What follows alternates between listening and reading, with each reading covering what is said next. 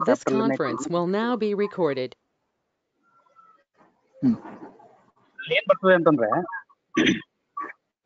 ಕೊನೆಗೆ ಏನ್ ಹೇಳ್ತಾನೆ ಅಂತಂದ್ರೆ ನೈಷೆ ತಸ್ಮಾತ್ ಅಜೀರ್ಣೆ ಅನ್ನೆ ನ ಅನ್ನದ್ ಭುಂಜೀತ ಭೋಜನಂ ಅಜೀರ್ಣ ಇರ್ಬೇಕಾದ್ರೆ ಅಂತ ಅರ್ಥ.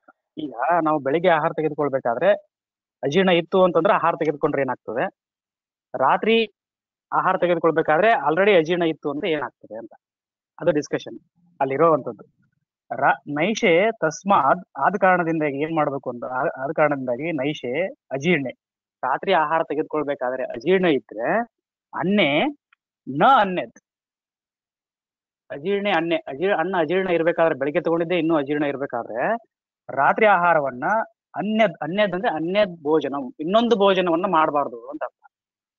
ಇನ್ನೊಂದು ಭೋಜನ ಮಾಡಿದ್ರೆ ಅದೇನಾಗ್ತದೆ? ದೃಷ್ಟಿ ಆಗ್ತದೆ ಅಂತ. ಹಾಗಿದ್ರೆ ಬೆಳಿಗ್ಗೆ ಆಹಾರ ತೆಗೆದುಕೊಳ್ಬೇಕಾದ್ರೆ ಅಜೀರ್ಣ ಇತ್ತು. ಅಂದ್ರೆ ಹಿಂದಿನ ಆಹಾರ ತೆಗೆದುಕೊಂಡಿದ್ದ ಅಜೀರ್ಣ ಇತ್ತು ಸ್ವಲ್ಪ ಅಂತಂದ್ರೆ, ಆವಾಗ ನಾವು ಆಹಾರ ತೆಗೆದುಕೊಂಡ್ರೆ ಏನಾಗ್ತದೆ ಬೆಳಿಗ್ಗೆ? ಸೊ ಅದು ಪಾಕ ಆಗೋ ಚಾನ್ಸಸ್ ಇರ್ತದೆ ಅಥವಾ ಪಾಕನೂ ಆಗ್ಬೋದು. ಅಂತ ಅರ್ಥ ಅಲ್ಲಿ. ಸೊ ಹಾಗಾಗಿ, ಅಂದ್ರೆ ಇದೇನು ಶಾಸ್ತ್ರದ ಪ್ರಕಾರವಾಗಿನೇ ಮಾಡಬಹುದು ಅಂತ ಅರ್ಥನಾ? ಅಥವಾ ಏನು ಅಜೀರ್ಣ ಇರ್ಬೇಕಾದ್ರೆ ಆಹಾರ ತೆಗೆದುಕೊಳ್ಬೇಕನ್ನೋ ತೆಗೆದುಕೊಳ್ಬೇಕಂತ ಶಾಸ್ತ್ರ ಹೇಳ್ತದ ಅಂತಂದ್ರೆ ಇಲ್ಲ. ಸೊ ಆ ವ್ಯಕ್ತಿ ಅಜೀರ್ಣ ಇರ್ಬೇಕಾದ್ರೆ, ಆಹಾರ ತೆಗೆದುಕೊಂಡ್ರೆ, ಅವನು ವ್ಯಾಯಾಮಾದಿಗಳನ್ನ ಮಾಡೋದ್ರಿಂದ, ದಿವ ಆಗಿರೋದ್ರಿಂದ ಕದಾಚಿತ್ ಆ ಆಹಾರ ಪಾಕ ಆಗಿ ಸಂಜೆ ಸಂಜೆಯ ಆಹಾರಕ್ಕೆ ಏನು ತೊಂದರೆ ಮಾಡೋದಿಲ್ಲ, ಮತ್ತೆ ಹಸಿವಾಗ್ಬೋದು ಅಂತ ಅರ್ಥ. ಆದ್ರೆ ನೀವು ಸಂಜೆ ಆಹಾರ ಜೀರ್ಣ, ಅಜೀರ್ಣ ಇರ್ಬೇಕಾದ್ರೆ, ಸಂಜೆ ತೆಗೆದುಕೊಳ್ಬೇಕಾದ್ರೆ ಆಹಾರ, ಹಿಂದಿನ ಆಹಾರ ಅಜೀರ್ಣ ಇರ್ಬೇಕಾದ್ರೆ, ಇನ್ನೊಂದು ಆಹಾರ ತೆಗೆದುಕೊಂಡ್ರೆ ಅದು ನಿಶ್ಚಿತವಾಗಿ ಭೂರಿ ದೋಷಗಳನ್ನು ಉತ್ಪತ್ತಿ ಮಾಡ್ತದೆ. ಹಾಗಾಗಿ ಬೆಳಗ್ಗೆ ಮತ್ತೆ ಬೆಳಗಿನ ಆಹಾರ ಇನ್ನೂ ಅದು ತೊಂದರೆ ಮಾಡ್ತದೆ ಅನ್ನೋ ಉದ್ದೇಶಕ್ಕೆ ಇಲ್ಲಿ ಹೇಳಿದ್ದಾರೆ. ಅಂದ್ರೆ ಇದು ಪ್ರತಿ ದಿವಸ ಹೀಗೆ ಮಾಡಿದ್ರೆ ನಡೀತದ ಅಂತ ಅರ್ಥ ಬರ್ತದೆ ಅಂದ್ರೆ ಏನು, ಬೆಳಿಗ್ಗೆ ಆಹಾರ ತೆಗೆದುಕೊಳ್ಬೇಕಾದ್ರೆ ಜೀ, ಅಜೀರ್ಣ ಇದ್ರೆ ಮತ್ತೆ ಡೈಲಿ ಆತರನೇ ಮಾಡಬಹುದಾ ಅಂತ? ಹಾಗೆ ಆತರ ಇಲ್ಲ. ಕದಾಚಿತ್ ಅಂತ ಮುಂದೆ ಬರ್ತದೆ ಅದು ಇದೇ ಅಧ್ಯಾಯದಲ್ಲಿ. ಮುಂದೆ ಕದಾಚಿತ್ ಕದಾಚಿತ್ ಅಂದ್ರೆ ಕೆಲವೊಮ್ಮೆ ಅಜೀರ್ಣ ಇದ್ದಾಗನು ಬೆಳಿಗ್ಗೆ ಆಹಾರ ತೆಗೆದುಕೊಂಡ್ರೆ it can be digested if you do a ವ್ಯಾಯಾಮ ಪ್ರಾಪರ್ ವ್ಯಾಯಾಮ and other things it can be digested by evening but you can not do anything if you ಇಂಟೆ consume ಆಹಾರ ಇಫ್ ಅಜೀರ್ಣ is there at the evening ಅನ್ನೋ ಅರ್ಥದಲ್ಲಿ ಆ ಶ್ಲೋಕವನ್ನು ಹೇಳಿದ್ದಾರೆ. So ಇನ್ನು ಕ್ಲಾರಿಫಿಕೇಶನ್ ಮುಂದಿನ ಶ್ಲೋಕಗಳಲ್ಲಿ ಬರ್ತದೆ. ಸೊ ಅದನ್ನ ನೋಡೋಣ ಮತ್ತೆ, ಹ್ಮ್? ಆಮೇಲೆ ಇದಷ್ಟೇ ಹೇಳಿದ್ಮೇಲೆ ಇದಕ್ಕೆ ಧ್ವನಿತಾರ್ಥಗಳು ಧ್ವನಿತಾರ್ಥಗಳಂದ್ರೆ ಇದು ಕೇವಲ ವಾಕ್ಯಾರ್ಥ ಆಯ್ತು. ಧ್ವನಿತಾರ್ಥ ಅಂತ ಇನ್ನೊಂದು ಬರ್ತದೆ. ಧ್ವನಿತಾರ್ಥ ಅಂದ್ರೆ ಈ ಹೇಳೋದ್ರ ಮೂಲಕ ಇನ್ನೊಂದು ಅರ್ಥ ಏನಾಗ್ತದೆ ಅಂದ್ರೆ ಬೆಳಗಿನ ಆಹಾರ ಸ್ವಲ್ಪ ಜಾಸ್ತಿನೇ ಇರ್ಬೇಕಾಗ್ತದೆ. ಸಾಯಂಕಾಲದ ಆಹಾರ ಕಂಪೇರೇಟಿವ್ಲಿ ಕಡಿಮೆನೇ ಇರ್ಬೇಕಾಗ್ತದೆ ಅನ್ನೋದು ಧ್ವನಿತಾರ್ಥದಲ್ಲಿ ಬರ್ತದೆ. ಎಕ್ಸಾಕ್ಟ್ಲಿ ಆ ಅರ್ಥ ವಾಕ್ಯದಲ್ಲಿ ಬರೋದಿಲ್ಲ. ಅದು ಧ್ವನಿತಾರ್ಥದಲ್ಲಿ ಸೂತ್ರ ಧ್ವನಿತಾರ್ಥದಲ್ಲಿ ಆ ರೀತಿ ಅರ್ಥ ಸೊ ನೋಡೋಣ. ಮುಂದೆ ಅದೇ ರೀತಿ ಇದ್ರ ಬಗ್ಗೆ ಮತ್ತೆ ಡಿಸ್ಕಷನ್ಸ್ ಬಂದಿದೆ ಎರಡ್ ಮೂರು ಬಾರಿ. ಅದನ್ನ ಅಲ್ಲಿ ಬಂದಾಗ ನೋಡೋಣ. ಈಗ ಅಜೀರ್ಣಂಚ ಕಪಾದಾಮಂ ತತ್ರ ಶೋಕೋ ಅಕ್ಷಿಗಂಡಯೋ ಸದ್ಯೋ ಭುಕ್ತ ಇವ ಉದ್ಗಾರ ಪ್ರಶೇಕೋತ್ಕೇಶ ಗೌರವಂ. ಸೊ ಕಫಾದ್ ಆಮಂ. ಸೊ ಆಮಾಜೀರ್ಣ ಆಗ್ತದೆ ಕಫದಿಂದಾಗಿ. ಕಫದಿಂದಾಗಿ ಆಮಾಜೀರ್ಣ ಆಗದೆ, ಎಲ್ಲ ಅಜೀರ್ಣಗಳಲ್ಲಿ ಆಮ ಆಗೇ ಆಗ್ತದೆ. ಆದ್ರೆ ಕಫದಿಂದ ಆಗಿರ್ತಕ್ಕಂಥ ಅಜೀರ್ಣಕ್ಕೆ ಆಮಾಜೀರ್ಣ ಅಂತ ಯಾಕೆ ಕರೆದ್ರು ಅಂತಂದ್ರೆ, ಕಫದ ಲಕ್ಷಣಗಳು ಮತ್ತು ಆಮದ ಲಕ್ಷಣಗಳು ಹೆಚ್ಚು ಕಡಿಮೆ ಸಿಮ್ಲಲ್ಲಿರೋದ್ರಿಂದ ಮತ್ತು ಕಫದಿಂದ ಆಗಿರ್ತಕ್ಕಂಥ ಅಜೀರ್ಣದಲ್ಲಿ ಭೂರಿ ಪ್ರಮಾಣದಲ್ಲಿ ಆಮ ಉತ್ಪತ್ತಿ ಆಗೋದ್ರಿಂದ ಇಲ್ಲಿ ಆಮಾಜೀರ್ಣ ಅಂತ ಕರೆದ್ರು. ಅಜೀರ್ಣಂಚ ಕಫಾದ್ ಆಮಂ ತತ್ರ ಶೋಕೋ ಅಕ್ಷಿಖಂಡಯೋ ಸದ್ಯೋ ಭುಕ್ತ ಇವ ಉದ್ಗಾರ ಪ್ರಸೇಕೋಕ್ಲೇಶ ಕೌರವಂ ಸೊ ಶೋಕ ಅಕ್ಷಿ ಅಂದ್ರೆ ಆರ್ಬೈಟಲ್ ಅಕ್ಷಿಗಂಡ ಅಂತಂದ್ರೆ ಅದ್ರ ಕೆಳಗಿರ್ತಕ್ಕಂಥ ಅಥವಾ ಪೆರಿ ಆರ್ಬಿಟಲ್ ಏರಿಯಾ ಅಂತ ಏನ್ ಹೇಳ್ತೀವಿ, ಆ ಏರಿಯಾದಲ್ಲಿ ಶೋಫ ಆಗ್ತದೆ. ಸದ್ಯೋ ಭುಕ್ತ ಇವ ಉದ್ಗಾರ I think you have discussed ಸದ್ಯೋ ಭುಕ್ತ ಇವ ಉದ್ಗಾರ ಅಂತಂದ್ರೆ ಆಹಾರ ತೆಗೆದುಕೊಂಡ ತಕ್ಷಣ ನಮ್ಗೆ ಉದ್ಗಾರಗಳು ಬರ್ತವೆ. ಆ ವಾಯು ಇರ್ತ ಅವರೋಧ ಆಗಿರ್ತಕ್ಕಂಥ ವಾಯು ಉದ್ಯೋಗತಿಯಲ್ಲಿ ಬರ್ತದೆ. ಸೊ ಅದಕ್ಕೆ ನಾವೇನಂತೀವಿ ಸದ್ಯೋ ಭುಕ್ತ ಇವ ಉದ್ಗಾರ. ಅಂದ್ರೆ ಆ ಉದ್ಗಾರದಲ್ಲಿ ಯಾವುದೇ ರೀತಿಯಾಗಿರ್ತಕ್ಕಂಥ ಆಮ್ಲತ ಆಗ್ಲಿ, ತಿಕ್ತತ ಆಗ್ಲಿ ಅಥವಾ ಬೇರೆ ರೀತಿಯಾಗಿರ್ತಕ್ಕಂಥ ದುರ್ಗಂಧಗಳ ಆದಿಗ ಆದಿಗಳಾಗ್ಲಿ ಇರೋದಿಲ್ಲ. ಸೊ ಊಟ ಆದ ತಕ್ಷಣ ಬರುವಂತ ಉದ್ಗಾರಗಳು. ಇಲ್ಲಿ ಚಿರಭುಕ್ತ ಶಾಪಿ ಸದ್ಯೋ ಹೊತ್ತು ಅಂದ್ರೆ, ಊಟ ಮಾಡಿ ತುಂಬಾ ಹೊತ್ತಾಗಿದೆ. ಆದ್ರೂ ಕೂಡ ಅವನಿಗೆ ಈಗ್ಲೇನೆ ಊಟ ಮಾಡ್ದಂಗೆ ಉದ್ಗಾರಾದಿಗಳು ಶುದ್ಧ ಉದ್ಗಾರಾದಿಗಳು ಬರ್ತವೆ. ಅಂದ್ರೆ ಅಲ್ಲಿ ವಿದಾಹ ಆಕ್ಚುಲಿ ಊಟ ಆದ್ಮೇಲೆ ಸ್ವಲ್ಪ ಹೊತ್ತಾದ್ಮೇಲೆ ವಿದಾಹ ಆಗ್ತದೆ. ಅವಾಗ ಆಮ್ಲ, ಆಮ್ಲತಾ ಜಾಸ್ತಿ ಆಗ್ತದೆ, ಪಿತ್ತ ಜಾಸ್ತಿ ಆಗ್ತದೆ. ಆಮೇಲೆ ದಾಹಾದಿಗಳು ಜಾಸ್ತಿ ಆಗ್ತದೆ. ಸೊ ಆ ಆ ಟೈಮಲ್ಲಿ ಉದ್ಗಾರ ಬಂದ್ರೆ ಈ ಲಕ್ಷಣಗಳು ಕಂಡು ಬರ್ಬೇಕು. ಏನಂದ್ರೆ ದಾಹ ತಿಕ್ತಾಮ್ಲೋದ್ಗಾರ ತಿಕ್ತ ಉದ್ಗಾರಾದಿಗಳು ಕಂಡು ಬರ್ಬೇಕು. ಆದ್ರೆ ಇಲ್ಲಿ ಅದು ಕಂಡು ಬರ್ದೇನೆ ತುಂಬಾ ಹೊತ್ತು ಆದ್ಮೇಲೂ ಕೂಡ ಅಲ್ಲಿ ಗುಪ್ತಶೈವ ಉದ್ಗಾರ. ಸೊ ಆ ರೀತಿ ಬಂದಿರುತ್ತದೆ ಉತ್ಕ್ಲೇಶ ವಮನೋನ್ಮುಖತ್ವಮಿತಿ. ಉತ್ಕ್ಲೇಶ ಅಂತಂದ್ರೆ ಪ್ರಸೇಕ ಅಂತಂದ್ರೆ ಕಫ ಸ್ಟೀವನ ಜಾಸ್ತಿ ಆಗ್ತದೆ. ಉತ್ಕ್ಲೇಶ ಅಂತಂದ್ರೆ ಗಮನೋನ್ಮುಖ ದೋಷಗಳು. ಚಲಿತ ದೋಷಗಳು ಅಂತ ಹೇಳ್ತೀವಿ. ಆಮಾಶಯ ಅಥವಾ ಕೋಷ್ಟದಲ್ಲಿ ಯಾವ ದೋಷಗಳು ಪ್ರಕೋಪಿತ ಆಗಿ ಅವು ಹೊರಗಡೆ ಬರಲಿಕ್ಕೆ ಪ್ರಯತ್ನ ಮಾಡ್ತಾ ಇರ್ತವೆ, ಆ ದೋಷಗಳಿಗೆ ನಾವ್ ಏನಂತ ಕರಿತೀವಿ ಅಂತಂದ್ರೆ ಉತ್ಕೃಷ್ಟ ದೋಷಗಳು ಅಂತ ಕರಿತೀವಿ. ಹೀಗೆ ಅಲ್ಲಿನ, ಇಲ್ಲಿನೂ ಕೂಡ ವಮನ ಆಗ್ಲಿಕ್ಕೆ ಅಥವಾ ವಾಮಿಟಿಂಗ್ ನಾಜಿಯಾ ಸೆನ್ಸೇಷನ್ ಅಂತ ಹೇಳ್ತೀವಿ ಆ ರೀತಿ ಲಕ್ಷಣಗಳು ಇಲ್ಲಿ ಕಫ ಆಗಿರೋದ್ರಿಂದ ಮತ್ತು ಆಮ ಆಗಿರೋದ್ರಿಂದ ಗೌರವ ಲಕ್ಷಣ ಇಲ್ಲಿ ಅತಿಯಾಗಿ ಕಂಡು ಬರ್ತದೆ ಅದು ಗೌರವ ಅಂತಂದ್ರೆ ಗಾತ್ರಾನಾಮ್ ಗೌರವಂ, ಉದ್ರಾನಾಮ್ ಗೌರವಂ ಅಂತನೂ ಅರ್ಥ ಆಗ್ತದೆ. ಇನ್ನು ವಿಷ್ಟಬ್ದಂ ಅನಿಲಾತ್ ಶೂಲ ವಿಬಂಧಾದ್ಮಾನ ಸಾಧಕೃತ್. ಸೊ ವಿಷ್ಟಬ್ದ, ವಿಷ್ಟಬ್ದಾಜೀರ್ಣವನ್ನ ಮುಂದೆ ಹೇಳ್ತಾರೆ. ವಿಷ್ಟಬ್ದಾಜೀರ್ಣ ಅನಿಲಾತ್, ವಾತದಿಂದಾಗಿ ಆಗುವಂತದ್ದು ಇಲ್ಲಿ ವಾತದ ಲಕ್ಷಣ ಆಗಿರ್ತಕ್ಕಂಥ ಶೂಲ, ವಿಬಂಧ ವಿಬಂಧ ಅಂದ್ರೆ ಅವರೋಧ. ವಿಬಂಧ, ಮಲಮೂತ್ರಾದಿಗಳು ಅವರೋಧ ಆಗೋದು. ಆದ್ಮಾನ ಅಂತಂದ್ರೆ ಜ್ಞಾಪಯತಿ, ಅಂದ್ರೆ ಉದರ ಆನಾಹ ಆಗುವಂತದ್ದು ಸಾಧಕೃತ್, ಸಾಧ ಅಂದ್ರೆ ಶರೀರ ಸಾಧ ಆಗ್ತದೆ, ಅದರಿಂದ ಏನಾಗ್ತದೆ? ಕರ್ಮ ಅಕ್ಷಯತ್ವ, ಕರ್ಮ ಅಕ್ಷಮತ್ವಂ ಅಂತ. ಅಥವಾ ಕಾರ್ಯ ಅಕ್ಷಮತ್ವಂ ಅಂತ ಬರುತ್ತೆ. ಸೊ ಆದಿ ಲಕ್ಷಣಗಳು ಇಲ್ಲಿ ವಾದದಿಂದಾಗಿ ಕಂಡು ಬರ್ತದೆ ವಿಷ್ಟಬ್ದ ಅಂದ್ರೆ ವಿಷ್ಟಬ್ದ ಸಂಜ್ಞಂ, ಸಾಧ ಕಾರ್ಯ ಅಕ್ಷಮತ್ವಂ. ಕಾರ್ಯ ಅಕ್ಷಮತ್ವಕ್ಕೆ ಸಾಧ, ಅಗ್ನಿ ಸಾಧ ಬರ್ತದೆ, ಬಲ ಸಾಧ ಬರ್ತದೆ, ಅಂಗ ಸಾಧ ಬರ್ತದೆ. ಸೊ ಅಗ್ನಿ ಅಗ್ನಿ ಸಾಧ ಅಂದ್ರೆ ಅಗ್ನಿ ಕರ್ಮ, ಕರ್ಮತ್ವ ಕ್ಷಯ ಆಗ್ತದೆ, ಅದಕ್ಕೆ ಅಗ್ನಿ ಸಾಧ ಅಂತ ಕರಿತೀವಿ ಬಲ ಸಾಧ ಅಂದ್ರೆ ಬಲ ಕಡಿಮೆ ಆಗ್ತದೆ, ಅಂಗ ಸಾಧ ಅಂದ್ರೆ ಶರೀರ ಕರ್ಮ ಅಕ್ಷಮತ್ವ ಆಗ್ತದೆ. ಸಾಧ ಅಂತಕ್ಕಂಥ ಶಬ್ದ ಅಕ್ಷಮತ್ವಕ್ಕೆ ಇಲ್ಲಿ ರೆಫರ್ ಮಾಡಿದ್ದಾರೆ ಚಿತ್ತಾದ್ ವಿದಗ್ಧಂ ತೃಣ್ಮೋಹ ಭ್ರಮಾಮ್ಲೋದ್ಗಾರ ದಾಹವತ್. ಸೊ ಪಿತ್ತಾದ್ ವಿದಗ್ಧ. ಸೊ ಪಿತ್ತದಿಂದಾಗಿ ವಿದಗ್ಧಾಜೀರ್ಣ ಆಗ್ತದೆ. ವಿದಗ್ಧ ಅನ್ನೋದಕ್ಕೆ ಅರ್ಧ ಪಕ್ವ ಅಂತಾನು ಕರಿತೀವಿ. ಅಥವಾ ಇನ್ನ ಮಿಡ್ಲ್ ಆಫ್ ದಿ ಡೈಜೆಷನ್ ಅಂತ ಆಗ್ತದೆ, ವಿದಗ್ಧ ಜೀರ್ಣ. ಅವಾಗ ಏನಾಗ್ತದೆ? ಪಿತ್ತದ ಲಕ್ಷಣಗಳು ಆಮ್ಲ ಲಕ್ಷಣಗಳು ದಾಹ ಲಕ್ಷಣಗಳು ಜಾಸ್ತಿ ಇರ್ತವೆ.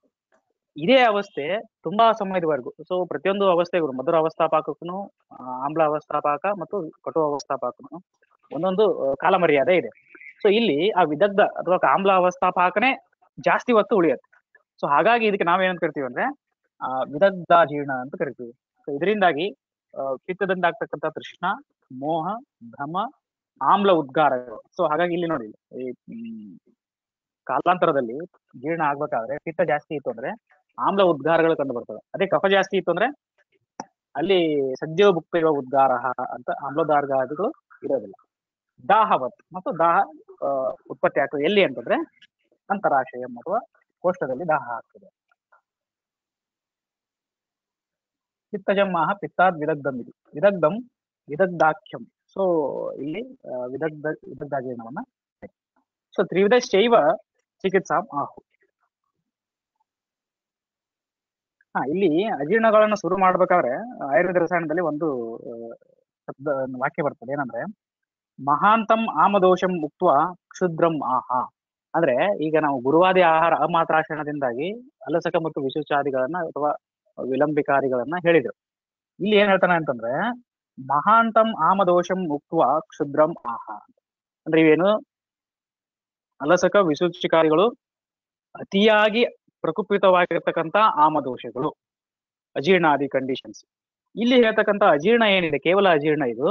ಅಲ್ಪ ಪ್ರಮಾಣದಲ್ಲಿ, ಅಂದ್ರೆ ದಿನದಿಂದ ದಿನಕ್ಕೆ ಇಲ್ಲಿ ದೋಷಗಳು ಅಲ್ಪ ಅಲ್ಪ ಪ್ರಮಾಣದಲ್ಲಿ ಎಷ್ಟೋ ವರ್ಷ ವರ್ಷನೇ ಇರ್ಬೋದು ಅಥವಾ ತಿಂಗಳುಗಳೇ ಇರ್ಬೋದು, ವಾರಗಳೇ ಇರ್ಬೋದು.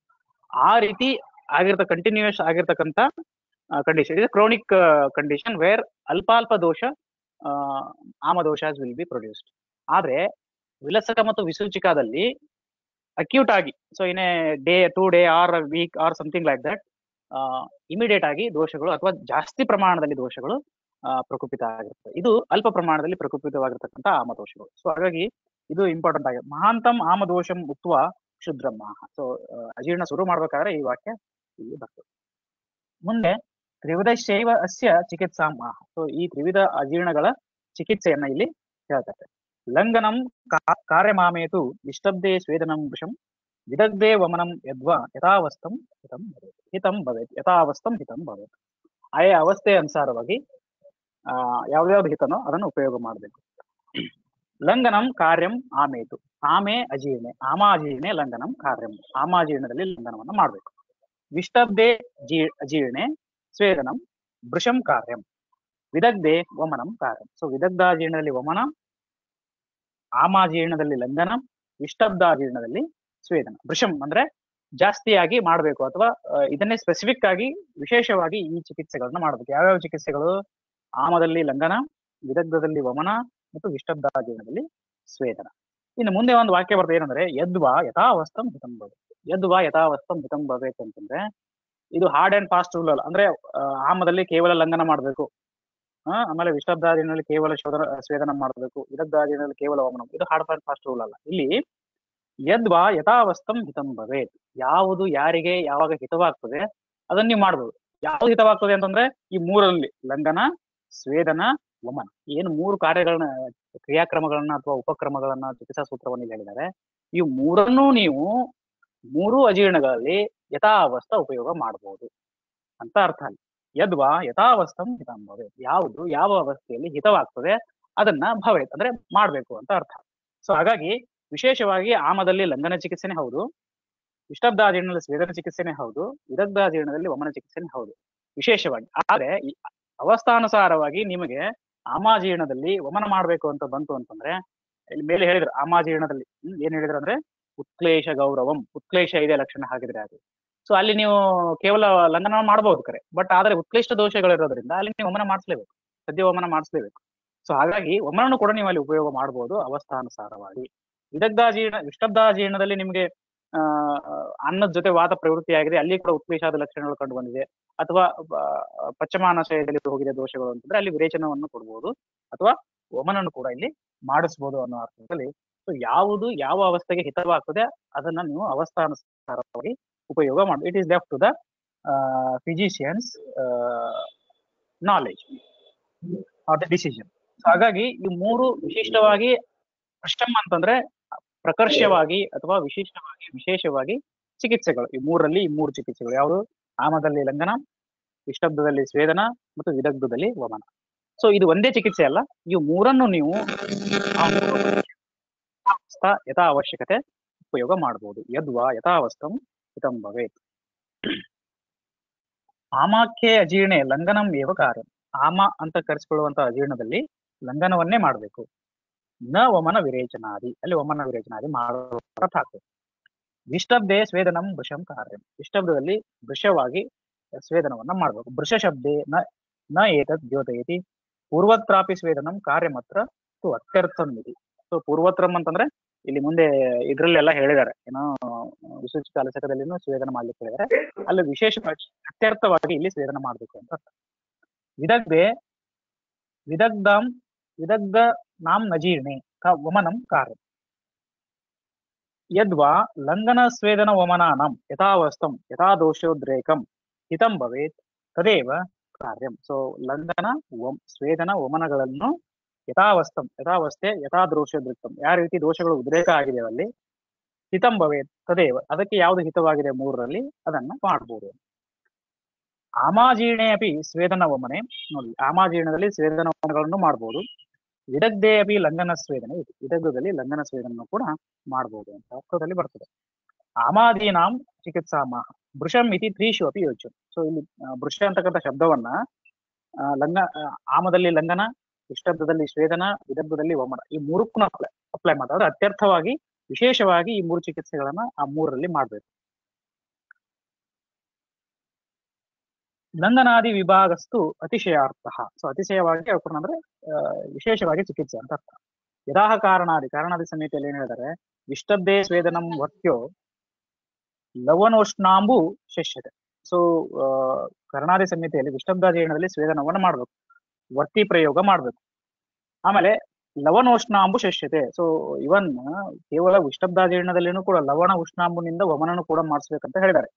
ವಿದಗ್ಧೆ ವಮನಂ ಚಸ್ತಂ ಉಪವಾಸ ವಿರೇಚನ. ವಿದಗ್ಧದಲ್ಲಿ ವಮನ, ಉಪವಾಸ ಮತ್ತು ವಿರೇಚನಗಳನ್ನ ಮಾಡಬಹುದು ಸೊ ಹಾಗಾಗಿ ಇಲ್ಲಿ ಇದು ಕೇವಲ ಇದಷ್ಟೇನೆ ಚಿಕಿತ್ಸೆ ಅಂತಲ್ಲ, ಆ ಮೂರು ಚಿಕಿತ್ಸೆಗಳನ್ನ ಯಥಾವತ್ತಾಗಿ ಅಥವಾ ವಿರೇಚನ ಅವಶ್ಯಕತೆ ಇದ್ರೂ ಅದನ್ನು ಕೂಡ ಇಲ್ಲಿ ಮಾಡ್ಕೊಳ್ಬಹುದು ಅಂತ ಅರ್ಥದಲ್ಲಿ ಕರ್ನಾಟಕದಲ್ಲಿ ಬರ್ತದೆ ಯದ್ವಾ ಅಥವಾ ಯಥಾವಸ್ಥಂ ಹಿತಂ ಅಸ್ಯ ಅಜೀರ್ಣಸ್ಯ ಯಸ್ಯ ಆಮ್ ಆಮವಸ್ಥಾಯಾಂ ಯದ್ ಹಿತಂ ತಸ್ಯ ತಸ್ಯ ತಸ್ಯಾಂ ಅವಸ್ಥಾಯಾಂ ತತ್ಕಾರ್ಯಂ ಇತ್ಯರ್ಥಃ.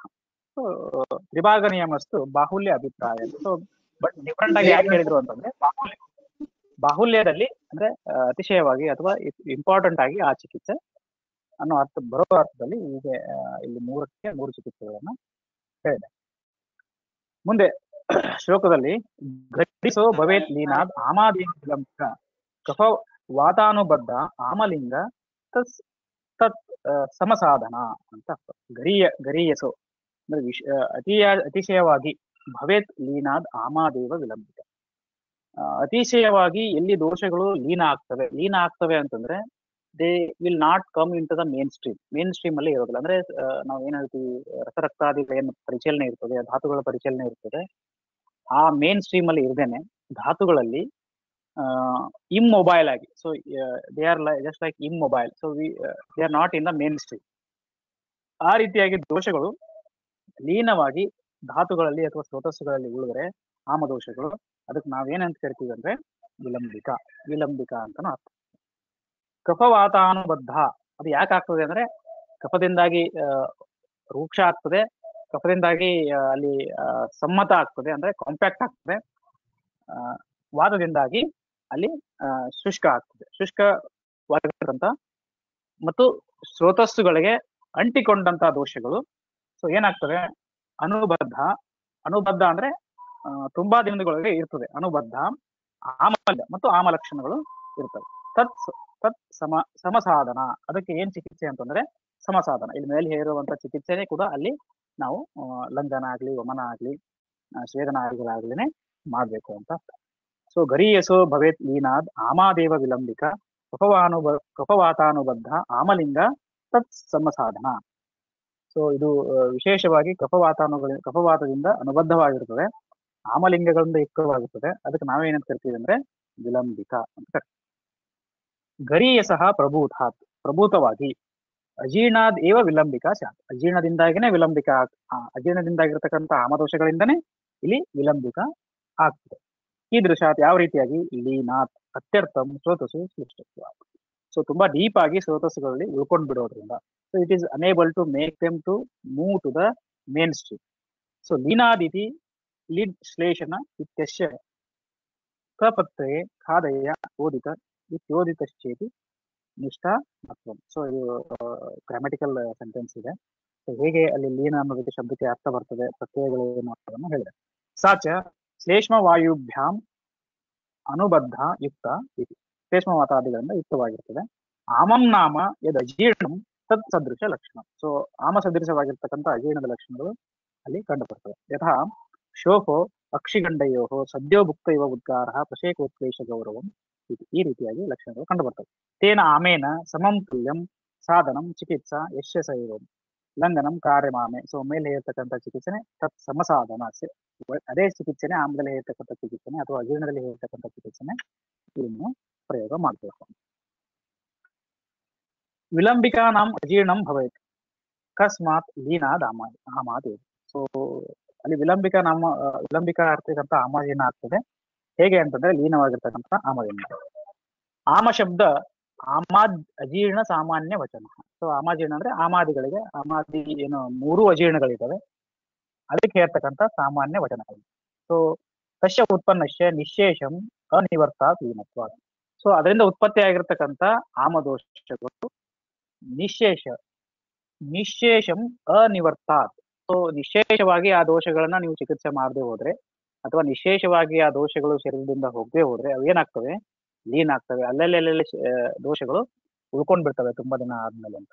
ಏವಂ ಪುನಃ ಪುನಃ ಲೀನತ್ವಾದ್ ಗರಿವಸ್ತು so it is not a single day process so ಆವಾಗ ಆವಾಗ ಪ್ರತಿದಿನ ಸ್ವಲ್ಪ ಅಲ್ಪ ಅಲ್ಪ ಅಲ್ಪ ದೋಷಗಳು ಏನಾಗ್ತವೆ ಅಂತಂದ್ರೆ ಅಲ್ಲಲ್ಲೇ ಸ್ರೋತಸ್ಸುಗಳಲ್ಲಿ ಅವರೋಧ ಆಗ್ಲಿಕ್ಕೆ ಶುರುವಾಗ್ತದೆ. ಏವಂ ಪುನಃ ಪುನಃ ಲೀನತ್ವಾದ್ ಗರಿವಸ್ತು ಪುನಃ ಪುನಃ ಲೀನ ಆಗಿ ಆಗಿ ಆಗಿ ಏನು they will reach at a optimum level ಪುನಃ ಪುನಃ ಉತ್ಪಾದೋ ದುಷ್ಟ ಬುಭುಕ್ಷಾಯ ಭೋಜನ ಸೊ ಪುನಃ ಪುನಃ ಉತ್ಪಾದವಾಗಿರ್ತಕ್ಕಂಥ ದುಷ್ಟ ಬುಭುಕ್ಷಾದಲ್ಲಿ ತಿಂದಾಗಿ ಆಹಾರ ತೆಗೆದುಕೊಳ್ತಾನೆ ಇರ್ತಾನೆ. ಹಾಗೆ ಆಮ ಉತ್ಪತ್ತಿ ಆಗ್ತಾನೆ ಇರ್ತದೆ. ಹಾಗೆ ಅದು ದೋಷಗಳು ಸಂಪೂರ್ಣವಾಗಿ ಪಾಕ ಆಗೋದಿಲ್ಲ ಅಥವಾ ಸಂಪೂರ್ಣವಾಗಿ ದೋಷಗಳು ಹೊರಗಡೆ ಹೋಗೋದಿಲ್ಲ.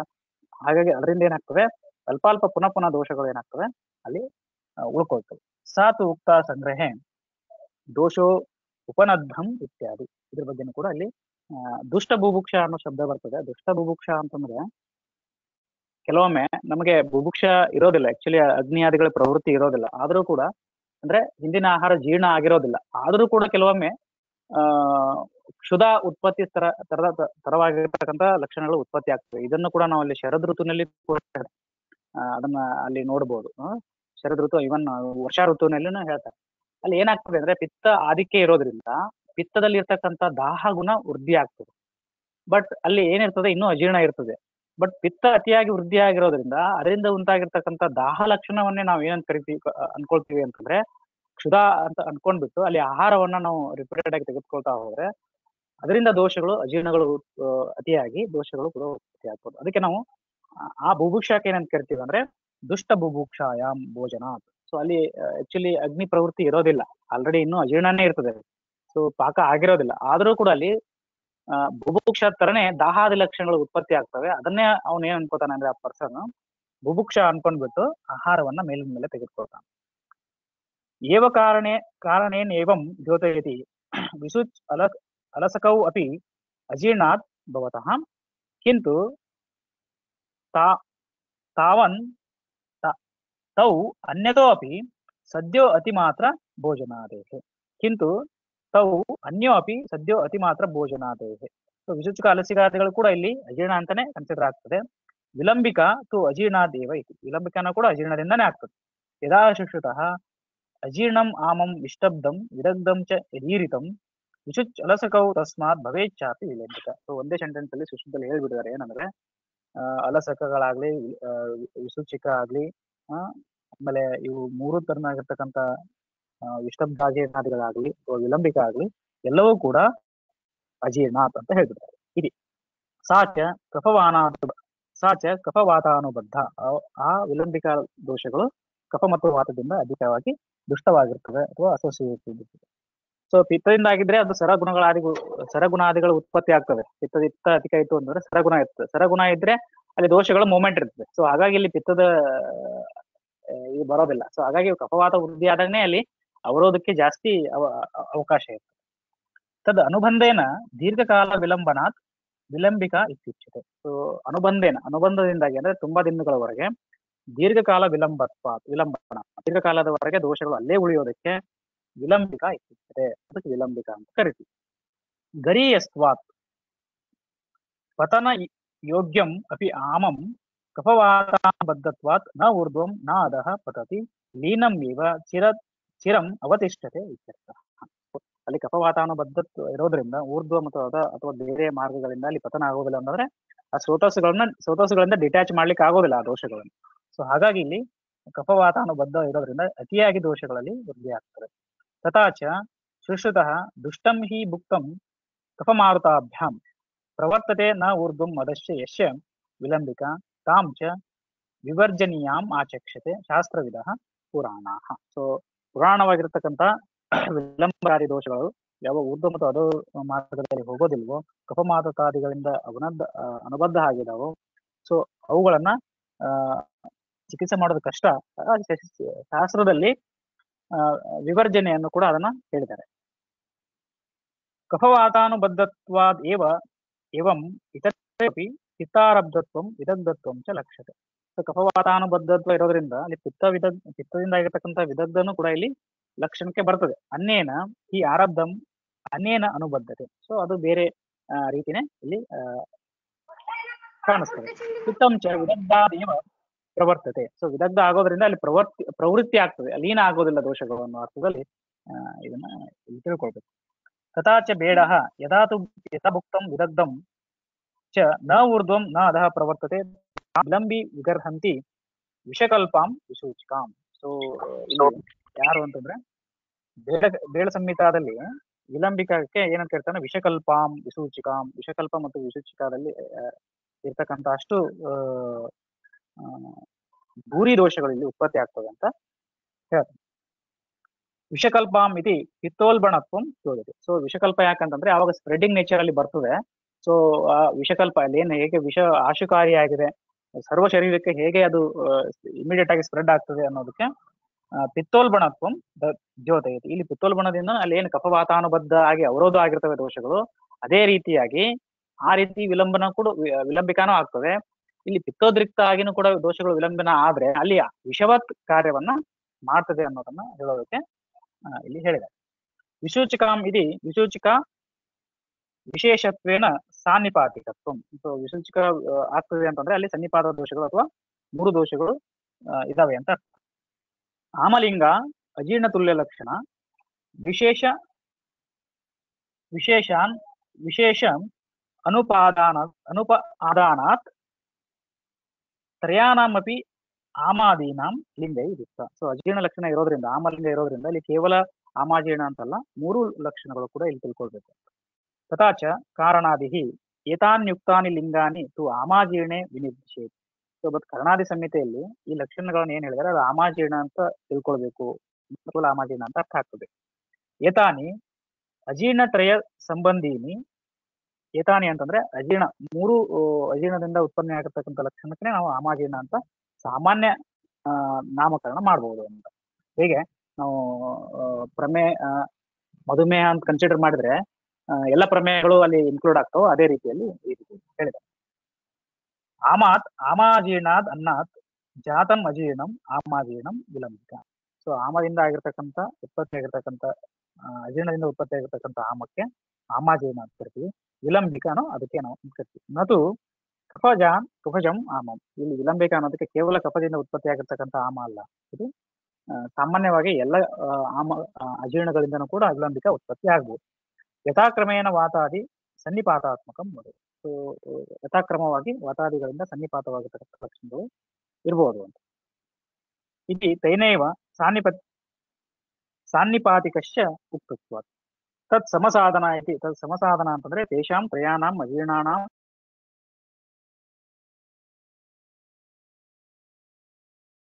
ಸಾಧಾರಣಂ ಸಾಧನಂ ಚಿಕಿತ್ಸಿತಂ ಯಶ ಸಾಂಪತ ಸೊ ಅದರಲ್ಲಿ ಮೇಲೆ ಇರ್ತಕ್ಕಂಥ ಆ, ಆಮಾಜೀರ್ಣಾದಿಗಳ ಚಿಕಿತ್ಸೆಯನ್ನೇ ಮಾಡಬೇಕು.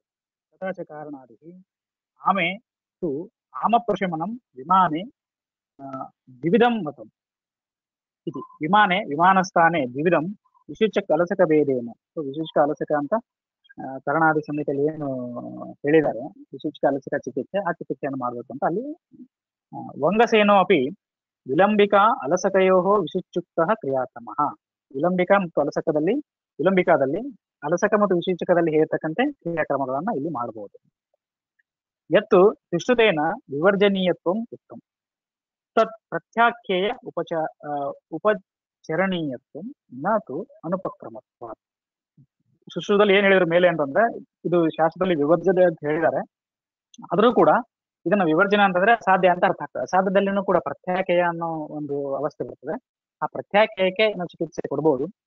ಆದ್ರೆ ಇಲ್ಲಿ ಅನುಪಕ್ರಮ ಅಂತ ಅರ್ಥ ಮಾಡ್ಕೊಳ್ಬಾರ್ದು. ಅತಏವ ವಿಲಂಬಿಕಂ ತಾಂ ಬೃಷದ್ ಬೃಷದ್ ದುಶ್ಚಿಕಿತ್ಸಾಂ ಆ, ಮಾಧವಕರ. ಸೊ ಮಾಧವಕರದಲ್ಲಿ ಏನ್ ಹೇಳಿದ್ದಾರೆ ಅಂತಂದ್ರೆ ವಿಲಂಬಿಕವನ್ನ ದುಶ್ಚಿಕಿತ್ಸೆ ಅಂತಾನು ಕೂಡ ಹೇಳಿದ್ದಾರೆ. ಎಂ ಚ ವಿಲಂಬಿಕ ಎಂ ಚ ವಿಲಂಬಿಕ ಚರಕಾಚಾರ್ಯ ಚರಕಾಚಾರ್ಯನ ಅನ್ನ ವಿಷ ಸಂಜ್ಞ ಸಂಜ್ಞೆಯ ಉಕ್ತ. ಅಭೋಜನಾತ್ ಅಜೀರ್ಣಾತಿ ಭೋಜನಾತ್ ವಿಷನಾಶನಾತ್ ರಸಾತ್ಮ ಗುರುಶೀತಾತಿ ರೂಕ್ಷ ಸಂದುಷ್ಟ ಭೋಜನಾತ್ ವಿರೇಕ ವಮನ ಸ್ನೇಹ ವಿದ್ಯಮಾತ್ ವ್ಯಾಧಿಕರ್ಷಣಾತ್ ದೇಹ ದೇಶ ಕಾಲ ಋತು ವೈಷಮ್ಯಾತ್ ವೇಗಾನಾಂಶ ವಿಧಾರಣಾತ್ ದುಷ್ಯತ್ಯಗ್ನಿ ಸದುಷ್ಟೋ ಅನ್ನಂ ನ ತತ್ ಪಚತಿ ಲಘ್ವಪಿ ಅಪಚ್ಯಮಾನಂ ಶುಕ್ತತ್ವಂ ಯಾತ್ಯಮ್ಮಂ ವಿಶತಾಂ ಶತತ್ ತಸ್ಯ ಲಿಂಗಂ ಅಜೀರ್ಣಶ್ಚ ವಿಷ್ಟಂಬಃ ಸದನಂ ಕ್ಲಮಃ ಶಿರೋರು ಶೋಪಮೂರ್ಛಾಶ್ಚ ಭ್ರಮಾ ಪೃಷ್ಠ ಕಟಿಗ್ರಹ कृष्णा च ज्वरः चर्दिः प्रवाहनम्। अरोचक अविपाकौ च घोरमन्नविषं तत्। पित्तेन सह संसृष्टं दाहतृष्णा मुकामयान् जनयत् अम्लपित्तं च पित्तजापरां गृहान् यक्ष्मपीनस मेहादीन्, कफजान् कफसङ्गतं करोति वातसंसृष्टं वातजान् शामयान् बहु मूत्ररोगांश मूत्रस्थं कुक्षिरोगान् शकृद्गतम् ರಸಾದಿಭಿಶ್ಚ ಸಂಸೃಷ್ಟಂ ರೋಗಾನ್ ರಸಾದಿಗಾನ್ ಸೊ ಇಲ್ಲಿ ಗ್ರಹಣಿದು ರೆಫರೆನ್ಸ್ ಕೊಡ್ತಾರೆ. ಗ್ರಹಣಿ ಗ್ರಹಣಿಯಲ್ಲಿನೂ ಕೂಡ ಅಜೀರ್ಣಕ್ಕೆ ಲಕ್ಷಣಗಳು. So ಗ್ರಹಣಿ will not start as a separate entity ಮೊದಲು ಅಜೀರ್ಣನೇ ಆಗ್ತದೆ. ಅಜೀರ್ಣದಿಂದ wide spectrum of disease wide spectrum ಬೇರೆ ಬೇರೆ ಡಿಸೀಸ್ ಆಮ್ಲಪಿತ್ತ ಆಗ್ಬೋದು, ಅಜೀರ್ಣಗಳಾಗ್ಬೋದು, ಇನ್ನು ಬೇರೆ ಬೇರೆ ರೀತಿಯಾಗಿರ್ತಕ್ಕಂಥ ರೋಗಗಳಲ್ಲಿ ಉತ್ಪತ್ತಿ ಆಗ್ಬೋದು. ಸೊ ಸೊ ಆ ದೋಷಗಳು ಯಾವಾಗ ಗ್ರಹಣಿಯನ್ನ ವಿಶೇಷವಾಗಿ ದೃಷ್ಟಿ ಮಾಡ್ತದೆ. ಆ ಗ್ರಹಣಿಯ ಗ್ರಹಣಿದಿಂದ ಗ್ರಹಣಿ ಅಂತಕ್ಕಂಥ ಶಬ್ದ ಅಲ್ಲಿ ಬರ್ತದೆ. ಸೊ ಹಾಗಾಗಿ ಇಲ್ಲೆಲ್ಲ ಧಾತುಗಳ ಜೊತೆಗೆ ಸೇರಿದ್ರೆ ಏನೇನು ವ್ಯಾಧಿಗಳಾಗ್ತದೆ ಆ, ಕಫದ ಜೊತೆಗೆ ಆಮ ಆಮ ಸೇರಿದ್ರೆ ಏನಾಗ್ತದೆ? ಪಿತ್ತದ ಜೊತೆಗೆ ಸೇರಿದ್ರೆ ಏನಾಗ್ತದೆ? ಮುಂದೆ ರೋಗಗಳು ಎಲ್ಲವುಗಳನ್ನ ಕಂಪ್ಲೀಟ್ ಸ್ಪೆಕ್ಟ್ರಮ್ ಆಗಿ ಇವನ್ ಆಮ್ಲಪಿತ್ತನು ಕೂಡ ಇಲ್ಲೇನೆ ವಿವರಣೆ ಮಾಡಿದೆ ಅಂದ್ರೆ ದೋಷಗಳು ಊರ್ದು ಹೋದರೆ ಯಾವ ರೀತಿ ಲಕ್ಷಣಗಳು ಕಂಡು ಬರ್ತವೆ? ಅದು ಹೋದ್ರೆ ಯಾವ ರೀತಿ ಲಕ್ಷಣಗಳು ಕಂಡು ಬರ್ತವೆ? ತಿರ್ಯಕ್ ಮಾರ್ಗದಲ್ಲಿ ಹೋದರೆ ಯಾವ ರೀತಿ ಲಕ್ಷಣಗಳು ಕಂಡು ಬರ್ತವೆ? ಹಾಗೆ ಇಲ್ಲಿ ಎಲ್ಲಾ ಆಗಿರ್ತಕ್ಕಂಥ ಸ್ಪೆಕ್ಟ್ರಮ್ ಆಫ್ ಡಿಸೀಸ್ ಏನಿದೆ ಅವೆಲ್ಲವನ್ನು ಇಲ್ಲಿ ಹೇಳಲಾಗಿದೆ.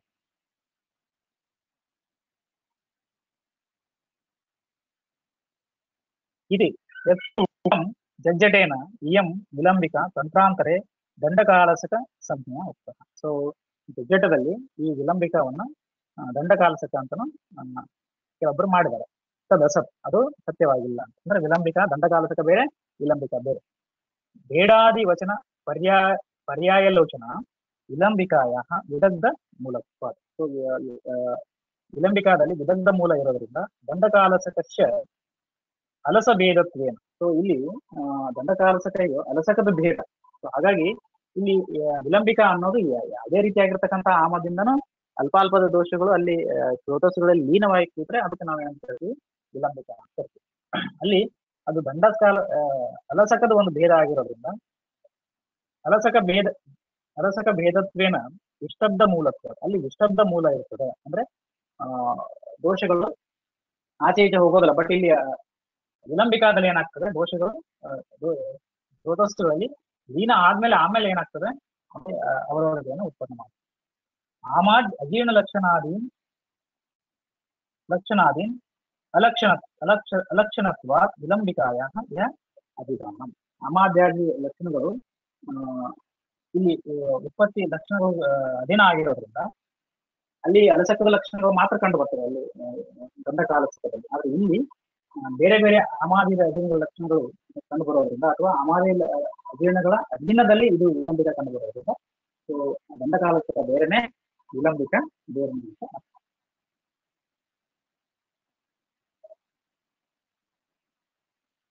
ಸೊ ಅಜೀರ್ಣ ಸಂಬಂಧಪಟ್ಟಿರ್ತಕ್ಕಂಥ ಇನ್ನೊಂದು ಅಜೀರ್ಣ ಬರ್ತದೆ, ಅದು ಯಾವುದು ಅಂತಂದ್ರೆ ರಕ್ತಶೇಷ ಅಜೀರ್ಣ ಸೊ, ಶೇಷವಾಗಿರ್ತಕ್ಕಂಥ ರಕ್ತ ಅದನ್ನು ಇಲ್ಲಿ ಹೇಳ್ತಾರೆ ಅಶ್ರದ್ಧಾ ಹೃದ್ಗತ ಶುದ್ಧೇ ಅಪಿ ಉದ್ಗಾರೆ ರಸಶೇಷತಃ ಶಯೀತ ಕಿಂಚಿತ್ ಏವ ಅತ್ರ ಸರ್ವಶ್ಚ ಅನಾಶಿತೋ ದಿವ ಸ್ವಪ್ಯಾತ್ ಅಜೀರ್ಣಿ ಸಂಜಾತ ಬುಭುಕ್ಷೋ ಅದ್ಯಾನ್ ಮಿತಂ ಯಶ್. ಅಶ್ರದ್ಧಾ ಅಶ್ರದ್ಧಾ ಹೃದ್ಗತ ಶುದ್ಧೇ ಅಪಿ ಉದ್ಗಾರೆ ರಸಶೇಷ ರಸಶೇಷತಃ ಅಜೀರ್ಣ ರಸಶೇಷ ಅಜೀರ್ಣದಲ್ಲಿ ಏನಾಗ್ತದೆ ಅಂತಂದ್ರೆ ಶುದ್ಧೇ ಅಪಿ ಉದ್ಗಾರ ಶುದ್ಧೇ ಅಪಿ ಉದ್ಗಾರ ಅಂದ್ರೆ ಸೊ ಆಹಾರ ಇಲ್ಲಿ ಜೀರ್ಣ ಆದ್ಮೇಲೆ ಏನಾಗ್ತದೆ? ಉದ್ಗಾರ, ಶುದ್ಧ ಉದ್ಗಾರ ಆದರೂ ಬರ್ತದೆ ಅದು ಬಂದ್ರೂ ಕೂಡ ಕೆಲವೊಮ್ಮೆ ಅನನ್ಯ ಅಭಿಲಾಷ ಇರ್ತದೆ. ಅಶ್ರದ್ಧ ಅಂತ ಇನ್ನೂ ಕಂಪ್ಲೀಟ್ ಆಗಿ ಅಲ್ಲಿ ಸುಧಾದಿಗಳು ಉತ್ಪತ್ತಿ ಆಗಿಲ್ಲ. ಅಶ್ರದ್ಧ ಅನನ್ಯ ಅಭಿಲಾಷ ಹೃದ್ವೇತ ಹೃದ್ವೇತಾದಿಗಳು ಹೃದಯ ಗೌರವ ಅಥವಾ ಕ್ರೀಡಾದಿಗಳು ಇನ್ನೂ ಸೊ ಉದ್ಧಾರ ಬಂದು ಇನ್ನೂ ಸಂಪೂರ್ಣವಾಗಿರ್ತಕ್ಕಂಥ ಅನ್ನ ಕಾಲದ ಲಕ್ಷಣಗಳು ಕಂಡು ಬರ್ತಾ ಇಲ್ಲ. ಅಂತ ಅವಸ್ಥೆಗೆ ನಾವು ಏನಂತ ಹೇಳ್ತೀವಿ ಅಂದ್ರೆ ರಸಶೇಷ ಜೀರ್ಣ ಇನ್ನೂ ಜೀರ್ಣವಾಗುವಂಥದ್ದು ಕೆಲವೊಂದಿಷ್ಟು ಅಂಶಗಳು ಅಲ್ಲಿ ಉಳ್ಕೊಂಡಿದೆ ಆಮಾಶಯದಲ್ಲಿ ಅದಕ್ಕೆ ನಾವು ಏನ್ ಹೇಳ್ತೀವಿ ಅಂದ್ರೆ ರಸಶೇಷ ಕರಿತೀವಿ. ಶಯೀತ ಕಿಂಚಿತ್ ಕಿಂಚಿತ್ ಶೈತ. ಕಿಂಚಿತ್ ಅಂತಂದ್ರೆ ಸ್ವಲ್ಪ ಮಟ್ಟಿಗೆ ಅಲ್ಲಿ ಮಲ್ಕೊಳ್ಬೇಕು ಅಂತ ಅರ್ಥ ಆಗ್ತದೆ. ಸರ್ವಶ ಅನಾಶಿತ ಬನ್ನಿ ಸೊ ಏನು ತೆಗೆದುಕೊಳ್ಳೋದನ್ನ ಅಲ್ಲಿ ಮಲಗಬೇಕು ಅಂತ ಅರ್ಥ ಆಗ್ತದೆ. ಏನು ಆಹಾರವನ್ನು ತೆಗೆದುಕೊಳ್ಬೇಕು ನಾವು ಮಲ್ಕೊಳ್ಬೇಕು ಅಂತಂದ್ರೆ ಅನಾಶಿತೋ ದಿವ ದಿವ ಅಂದ್ರೆ ದಿನದಲ್ಲಿ ರಸಶೇಷ ಇತ್ತು ಅಂದ್ರೆ ಹಿಂದೆ ತೆಗೆದುಕೊಂಡ ಆಹಾರದ ರಸಶೇಷ ಇತ್ತು ಅಂತಂದ್ರೆ ಅಲ್ಲಿ ದಿವ ಸ್ವಾಪ ಮಾಡಲಿಕ್ಕೆ ಇದು ಇದೆ. ಏನಂತಂದ್ರೆ, ಅವಕಾಶ ಇದೆ. ಏನು ಏನೋ ಆಹಾರ ತೆಗೆದುಕೊಳ್ಳೋದನ್ನ ಅಲ್ಲಿ ಮಲಗಬೇಕು ಸತ್ಯಾತ್ ಸಂಜಾತ ಬುಭುಕ್ಷ ಅಧ್ಯಾತ್ಮಿಕ. ಸೊ ಆಗ ಸಂಜಾತ ಬುಭುಕ್ಷ ಅಂದ್ರೆ ಮತ್ತೆ ಅದೆಲ್ಲ ಪ್ರಯಾಣ ಆದ್ಮೇಲೆ ಏನ ಬುಭುಕ್ಷಾದಿಗಳು ಉತ್ಪತ್ತಿ ಆಯ್ತು ಅಂತಂದ್ರೆ ಆಧ್ಯಾತ್ಮಿಕ ಉನ್ನತಿ. ಸೊ ಆಮೇಲೆ ಮಿತವಾಗಿರ್ತಕ್ಕಂಥ, ಲಘುವಾಗಿರ್ತಕ್ಕಂಥ ಆಹಾರವನ್ನು ಸೊ ಇದು ಕೇವಲ ರಸಶೇಷದಲ್ಲಿನೂ ಅಂತ ಅರ್ಥ ಆಗೋದಿಲ್ಲ. ಬೇರೆ ಅಧ್ಯಯನಗಳಲ್ಲಿನೂ ಅಂತ ಅರ್ಥ ಆಗ್ತದೆ. ಮುಂದಿನ ದಿನ ತೆಗೆದುಕೊಳ್ತಕ್ಕಂಥ ಆಹಾರವನ್ನು ಪಚನ ಆಗಿಲ್ಲ ಅಂತಂದ್ರೆ ಅಲ್ಲಿ ಜೀವಾಸ್ತಾಪ ಮಾಡ್ಬೇಕು. ಅದು ರಸಶೇಷ ಅಜೀರ್ಣ ಆಗಿತ್ತಂದ್ರೆ ಅಲ್ಪ ಪ್ರಮಾಣದಲ್ಲಿ ಮಾಡಬೇಕು. ಭೂರಿ ಅಂದ್ರೆ ಅಜೀರ್ಣ ಜಾಸ್ತಿ ಇತ್ತು ಅಂತಂದ್ರೆ ಅಲ್ಲಿ ಪ್ರಮಾಣದಲ್ಲಿ ಮಾಡಬೇಕು. ಹೇಗೆ ಅಂದ್ರೆ ಸರ್ವಶ್ಯ ಅನಾಶಿತ ಏನು ಆಹಾರವನ್ನು ತೆಗೆದುಕೊಳ್ಳಲು ದಿವಾಸ್ವಾಪ ಮಾಡಬೇಕು. ಜೀರ್ಣದಲ್ಲಿ ದಿವಾಸ್ವಾಪ ಮಾಡಬೇಕು ಅಂತಂದ್ರೆ ಆಹಾರ ತೆಗೆದುಕೊಂಡ್ಬಿಟ್ಟು ಮತ್ತೆ ಮಲಗೋದು ಅಂತಲ್ಲ ಅಥವಾ ಏನಾದ್ರು ಪಾನೀಯ ಆಟಗಳನ್ನ ತೆಗೆದುಕೊಂಡು ಮಲಗಬೇಕು ಅಂತಲ್ಲ ಸರ್ವಶ್ಯ ಅನಾಶಿತ ಏನು ತೆಗೆದುಕೊಳ್ಳೋಣ ಅಲ್ಲಿ ಆ, ದಿವಾಸ್ವಾಪ ಮಾಡಬೇಕು. ಸಂಜಾತ ಬುಭುಕ್ಷ ಬುಭುಕ್ಷ ಉತ್ಪತ್ತಿ ಆದ್ಮೇಲೆ ಆಮೇಲೆ ಜೀರ್ಣಾದ ಲಕ್ಷಣಗಳ ಉತ್ಪತ್ತಿ ಆದ್ಮೇಲೆ ಸೊ ಬುಭುಕ್ಷ ಉತ್ಪತ್ತಿ ಆದ್ರೂ ಕೂಡ ಅಲ್ಲಿ ಅಲ್ಪವಾಗಿರ್ತಕ್ಕಂಥ, ಹಿತವಾಗಿರ್ತಕ್ಕಂಥ ಮತ್ತು ಲಘುವಾಗಿರ್ತಕ್ಕಂಥ ಆಹಾರವನ್ನು ಸಿಗುತ್ತೆ. ಇದು ನಾವು ಏನಂತಂದ್ರೆ ರಸಶೇಷ ಅಂತ ಹೇಳ್ತೀವಿ. ರಸಶೇಷೆ ಅಶ್ರದ್ಧ ಅನನ್ನಾದಿಲ್ಲ ರಸಶೇಷದಲ್ಲಿ ಅಶ್ರದ್ಧ ಇರ್ತದೆ. ಅಂದ್ರೆ ಏನು? ಅನನ್ನ, ಅನ್ನ ಅನಭಿಲಾಷ ಅಥವಾ ಅನನ್ನಾಭಿಲಾಷ. ಆಹಾರ ತೆಗೆದುಕೊಳ್ಬೇಕು ಅಂತ ಅನ್ಸೋದಿಲ್ಲ. ಹೃದ್ಗತ, ಹೃದಯ ಶೂಲಂ ಗೌರವಂ. ಹೃದ್ಗತ ಅಂತಂದ್ರೆ ಹೃದಯ ಶೂಲ ಅಥವಾ ಗೌರವ. ಮತ್ತೆ ಎರಡು. ಹುದ್ದೆ ಉದ್ಗಾರ ಅನ್ನ ಸಂಬಂಧಿ. ಶುದ್ಧ ಉದ್ಗಾರ ಅಂತಂದ್ರೆ ಕೇವಲ ಅನ್ನಕ್ಕೆ ಸಂಬಂಧವಾಗಿರ್ತಕ್ಕಂಥದ್ದು. ಅಂದ್ರೆ ಆಹಾರ ಖಾಲಿಯಾಗಿದೆ ಬಟ್ಟೆ ಅಂತ ಅರ್ಥ. ಕೇವಲ. ಏನ? ಅಜೀರ್ಣ ಅರ್ಥಾಂತರ ಭೂತಂ. ಅಂದ್ರೆ ಅರ್ಥಾಂತರ ಭೂತ ಆಗ್ತದೆ. ಅಂದ್ರೆ ಅಜೀರ್ಣ ಅಂದ್ರೆ ಜೀರ್ಣ ಆಗಿದೆ ಅಂತ ಅರ್ಥ ಆಗ್ತದೆ. ಆದ್ರೆ ಅಲ್ಲಿ ಜೀರ್ಣ ಆಗಿರೋದಿಲ್ಲ. ಯಾಕೆ ಅಂತಂದ್ರೆ ಅಶ್ರದ್ಧ ಅದ್ಭುತಾದಿಗಳು ಇರ್ತದೆ ಅಲ್ಲಿ. ಏನ? ಅಜೀರ್ಣ ಅರ್ಥಾಂತರ ಭೂತಂ ಏವಯಂ ರಸಶೇಷ ಅರ್ಥಾಂತರ ಭೂತ ಇನ್ನೊಂದು ಅಜೀರ್ಣಕ್ಕೆ ಇನ್ನೊಂದು ಅವಸ್ಥೆ ಅಲ್ಲಿ ಇರ್ತದೆ. ಅದಕ್ಕೆ ನಾವು ಅಂತಂದ್ರೆ ರಸಶೇಷ ಅತಶ್ಚ ರಸಸ್ಯ ರುದಿರಾದಿ ಹೇತು ಅಸಮ್ಯಕ್ ಪರಿಪಾಕ ಇರ್ತದೆ. ಹಾ ಅಂದ್ರೆ ಏನು ಅಂತಂದ್ರೆ, ಇದು ರಸಶೇಷ ಅಂದ್ರೆ ಏನು ಅಂತಂದ್ರೆ ರಸಧಾತುವಿನಿಂದ ರಕ್ತಧಾತು ಆಗೋವಷ್ಟು ಕಂಪ್ಲೀಟ್ ಆಗಿ ರಸಧಾತು ಇಲ್ಲಿ ಪಾಕ ಆಗಿರೋದಿಲ್ಲ ಅಥವಾ ರಸ ಆಹಾರ ರಸ ಉತ್ಪತ್ತಿ ಆಗಿರೋದಿಲ್ಲ ಅದಕ್ಕೆ ನಾವು ಅವಶ್ಯಕ ಏನಂತ ಹೇಳ್ತೀವಿ ಅಂತಂದ್ರೆ ರಸಶೇಷ ಕರಿತೀವಿ. ರಸಸ್ಯ ರುದಿರಾದಿ ಹೇತು ಅಸಮ್ಯಕ್ ಪರಿಪಾಠ ಇರ್ತದೆ ಅಂದ್ರೆ ರಸ ರಕ್ತವಾಗಿ ಕನ್ವರ್ಟ್ ಆಗಿರುತ್ತೆ ಏನು ಕಂಪ್ಲೀಟ್ ಕನ್ವರ್ಗೇಷನ್ ಬೇಕಾಗಿದೆ ಆಹಾರ ರಸದಲ್ಲಿ, ಅದು ಕಂಪ್ಲೀಟ್ ಆಗಿ ಆಗಿಲ್ಲ ತತ್ ಚಿಕಿತ್ಸಾಂ ಆಶಯಿತ ಇರ್ತದೆ ಅತ್ರ ರಸಶೇಷ ಕಿಂಚಿದೇವ ಶೋಕ ಮಾತ್ರ ಸತ್ಯ. ಶೋಕ ರಸಶೇಷ ಆಗಿನಲ್ಲಿ ಶೋಕ ಮಾತ್ರ ಅಲ್ಪ ಪ್ರಮಾಣದಲ್ಲಿ ಉದ್ರಣ ಮಾಡಬೇಕು ನ ಅಜೀರ್ಣಿ ಇವ ಪ್ರಭೂತಂ. ಅಜೀರ್ಣದಲ್ಲಿ ಹೇಳುವ ಹಾಗೆ ಪ್ರಭೂತ ಸೇವನ ಅಂತಂದ್ರೆ ಅಲ್ಲಿ ಪ್ರಭೂತ ಶಯನ ಮಾಡಬಾರ್ದು. ಸರ್ವಶ್ಯ ಅಜೀವಿ ಸೊ ಎಲ್ಲ ಬೇರೆ ಅಜೀರ್ಣಗಳನ್ನು ಕೂಡ ಅನಾಶಿತ ಜೀವಾಶಯಿತ ಅಲ್ಲ ಆಲಾಪ. ಸೊ ಆಹಾರ ತೆಗೆದುಕೊಳ್ಳೋದೇನು ಜೀವಾಶಯಿತ ಜೀವನದಲ್ಲಿ ಮಲಗಬೇಕು. ಎಲ್ಲಿವರೆಗೂ ಮಲಗಬೇಕು? ತುಂಬಾ ಅಜೀರ್ಣ ಇದ್ರೆ ಆಲಾಪ. ಶರೀರದಲ್ಲಿ ಲಾಘವ ಬರೋವರೆಗೂ ನಾವು ಮಲಗಬೇಕು. ಆಲಾಪ. ಯದಾಚ ಉತ್ಪನ್ನ ಕ್ಷುತ್ ತದಾ ಸ್ತೋಕಂ ಚ ಯಾವಾಗ ಸುಧಾ ಉತ್ಪತ್ತಿ ಆಗ್ತದೆ. ತದಾ ಸ್ತೋಕಂ ಲಘು ಚ ಅದ್ಯ ಅಲ್ಪ ಪ್ರಮಾಣದಲ್ಲಿ ಲಘುವಾಗಿರತಕ್ಕಂಥ ಆಹಾರ ಸಿಗುತ್ತೆ ಆಶಃ ಕೃತೋ ಏನ ಸಹ ಆಶಿತ. ನ ಆಶಿತೋ ಅನಾಶಿತ. ಸೊ ಅಭುಕ್ತವಾನ್ ಇತ್ತು ಅಂತ ಆಹಾರ ತೆಗೆದುಕೊಳ್ತಾರೆ ನಾನು ಅಜೀರ್ಣ ಅಜಿಹತ ಉನ್ಮತ್ತಾಂ ಇತ್ಯನೇನೈವ ವಾಕ್ಯೇನ ಅಜೀರ್ಣಿನಾಂ ದಿವಾಸ್ವಪ್ನೋ ಅನುಜ್ಞಾತ ಏವ.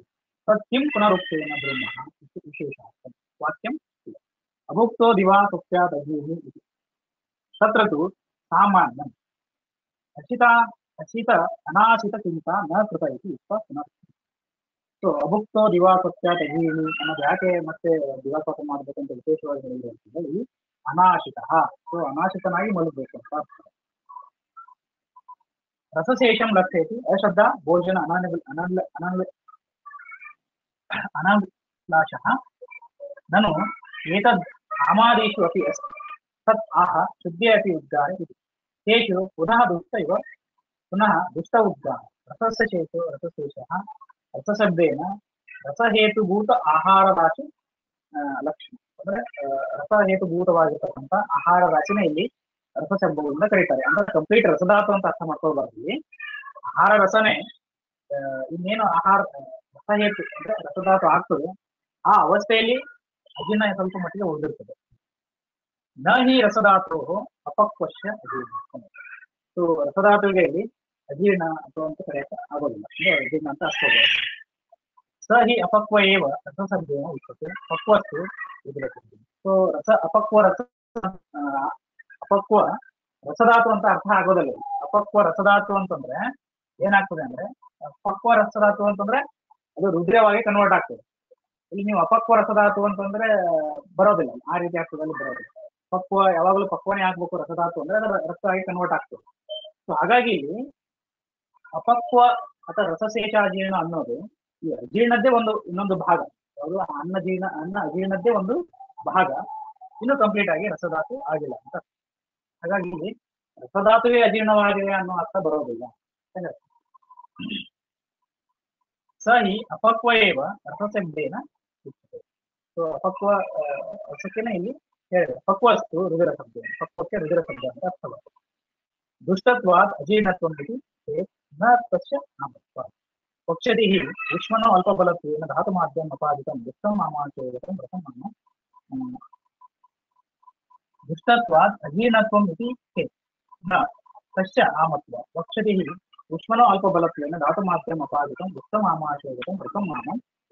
ಪಶ್ಯತೆ ಸೊ ಇಲ್ಲಿ ಅಜೀರ್ಣ ಅಂತಾನೆ ಸಂಕೇತ ರಸಶೇಷಸ್ಯ ಔಷಧಂ ಆಹ ಕೌತಂ ಕಿಂಚಿದೇವ ಮುಹೂರ್ತಂ ಸೊ ಕಿಂಚಿತ್ ಅಂದ್ರೆ ಏನ್ ಅರ್ಥ ಅಲ್ಲಿ? ಎಷ್ಟು ಮಲಗಬೇಕು ಅನ್ನೋದಕ್ಕೆ ಕಾಲ ಮರ್ಯಾದೆ ಏನಂದ್ರೆ ಕಿಂಚಿತ್ ಮಲಗಬೇಕು ಅಂತ ಕಿಂಚಿ ಮಿನಿಟ್ಸ್ ಯೂಶಲಿ ಮುಹೂರ್ತ ಅಂದ್ರೆ ಫಾರ್ಟಿ ಕನ್ಸಿಡರ್ ಮಾಡ್ಬೋದು ಸೊ ಅಷ್ಟು ಮಲಗಬೇಕು ಅಂತ ನಾನು ಮುಹೂರ್ತಂ ಅನುಮಾನತಃ ಸೊ ಮುಹೂರ್ತನೇ ಯಾಕೆ ಅಂತ ಪ್ರಶ್ನೆ ಬರ್ತದೆ ಅಂದ್ರೆ ಅನುಮಾನ ಸಿದ್ಧವಾಗಿರ್ತಕ್ಕಂಥದ್ದು ಅಥವಾ ಅಷ್ಟು ಸಮಯದಲ್ಲಿ ಪಾಕ ಆಗ್ತದೆ ಅಬ್ಸರ್ವೇಷನ್ ಕಂಪ್ಲೀಟ್ ಅಂತೆಲ್ಲ ಇರೋದ್ರಿಂದ ಮುಹೂರ್ತ ತಗೊಳ್ಬೇಕು ಮ ಏವಂ, ಅದು ಹಾಗೆ ಅಲ್ಲ. ಹೇಗೆ ಅಂತಂದ್ರೆ, ಅಜೀರ್ಣಾಂ ಅಜೀರ್ಣಿನಾಂ ಅಧಿಕಂ ದಿವಾಸ್ವಪ್ನ ವಿರಚಿತಿ ಸೊ ಅಜೀರ್ಣ ತುಂಬಾ ಅಂತಂದ್ರೆ, ಅಲ್ಲಿ ಜಾಸ್ತಿ ಮಲಗಬೇಕು ಅಂತ ಅರ್ಥ.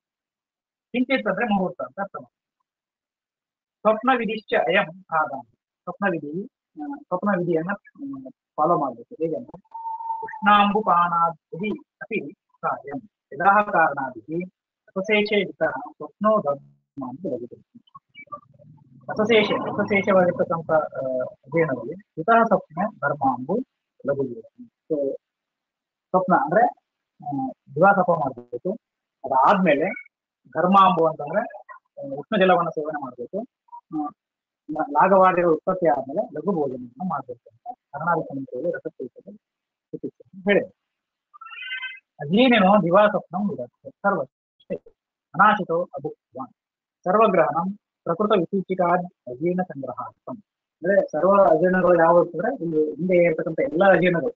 ಕಾಮ ಅಜೀರ್ಣ ಇದಕ್ಕ ಅಜೀರ್ಣ ವಿಶಬ್ದ ಅಜೀರ್ಣ ಇರ್ಬೋದು ಅಥವಾ ಆ ಅಲಕ್ಷಕ ವಿಶಿಷ್ಟ ವಿಲಂಬಿತಾದಿಗಳಿರ್ಬೋದು ದಂಡಕ ಲಕ್ಷಗಳಾದಿರಲಿ ಎಲ್ಲವೂ ಅಜೀರ್ಣದಲ್ಲೇ ಬರೋದ್ರಿಂದ ಅವೆಲ್ಲದರಲ್ಲಿನೂ ಕೂಡ ನಾವು ಇಲ್ಲಿ ಆ, ಈ ರೀತಿಯಾಗಿ ಮಾಡ್ಬೋದು ಅಂತ ಅನಾಶಿತೋ ಅಭುಕ್ತವಾನ್ ಏನೇ ಆಹಾರ ತೆಗೆದುಕೊಳ್ಳೋಣ ಸರ್ವಗ್ರಹಣ ಇಲ್ಲಿ ಸರ್ವಶ್ಚ ಅನಾಶಿತೋ ಶಿವ ಅಂತ ಹೇಳಿ.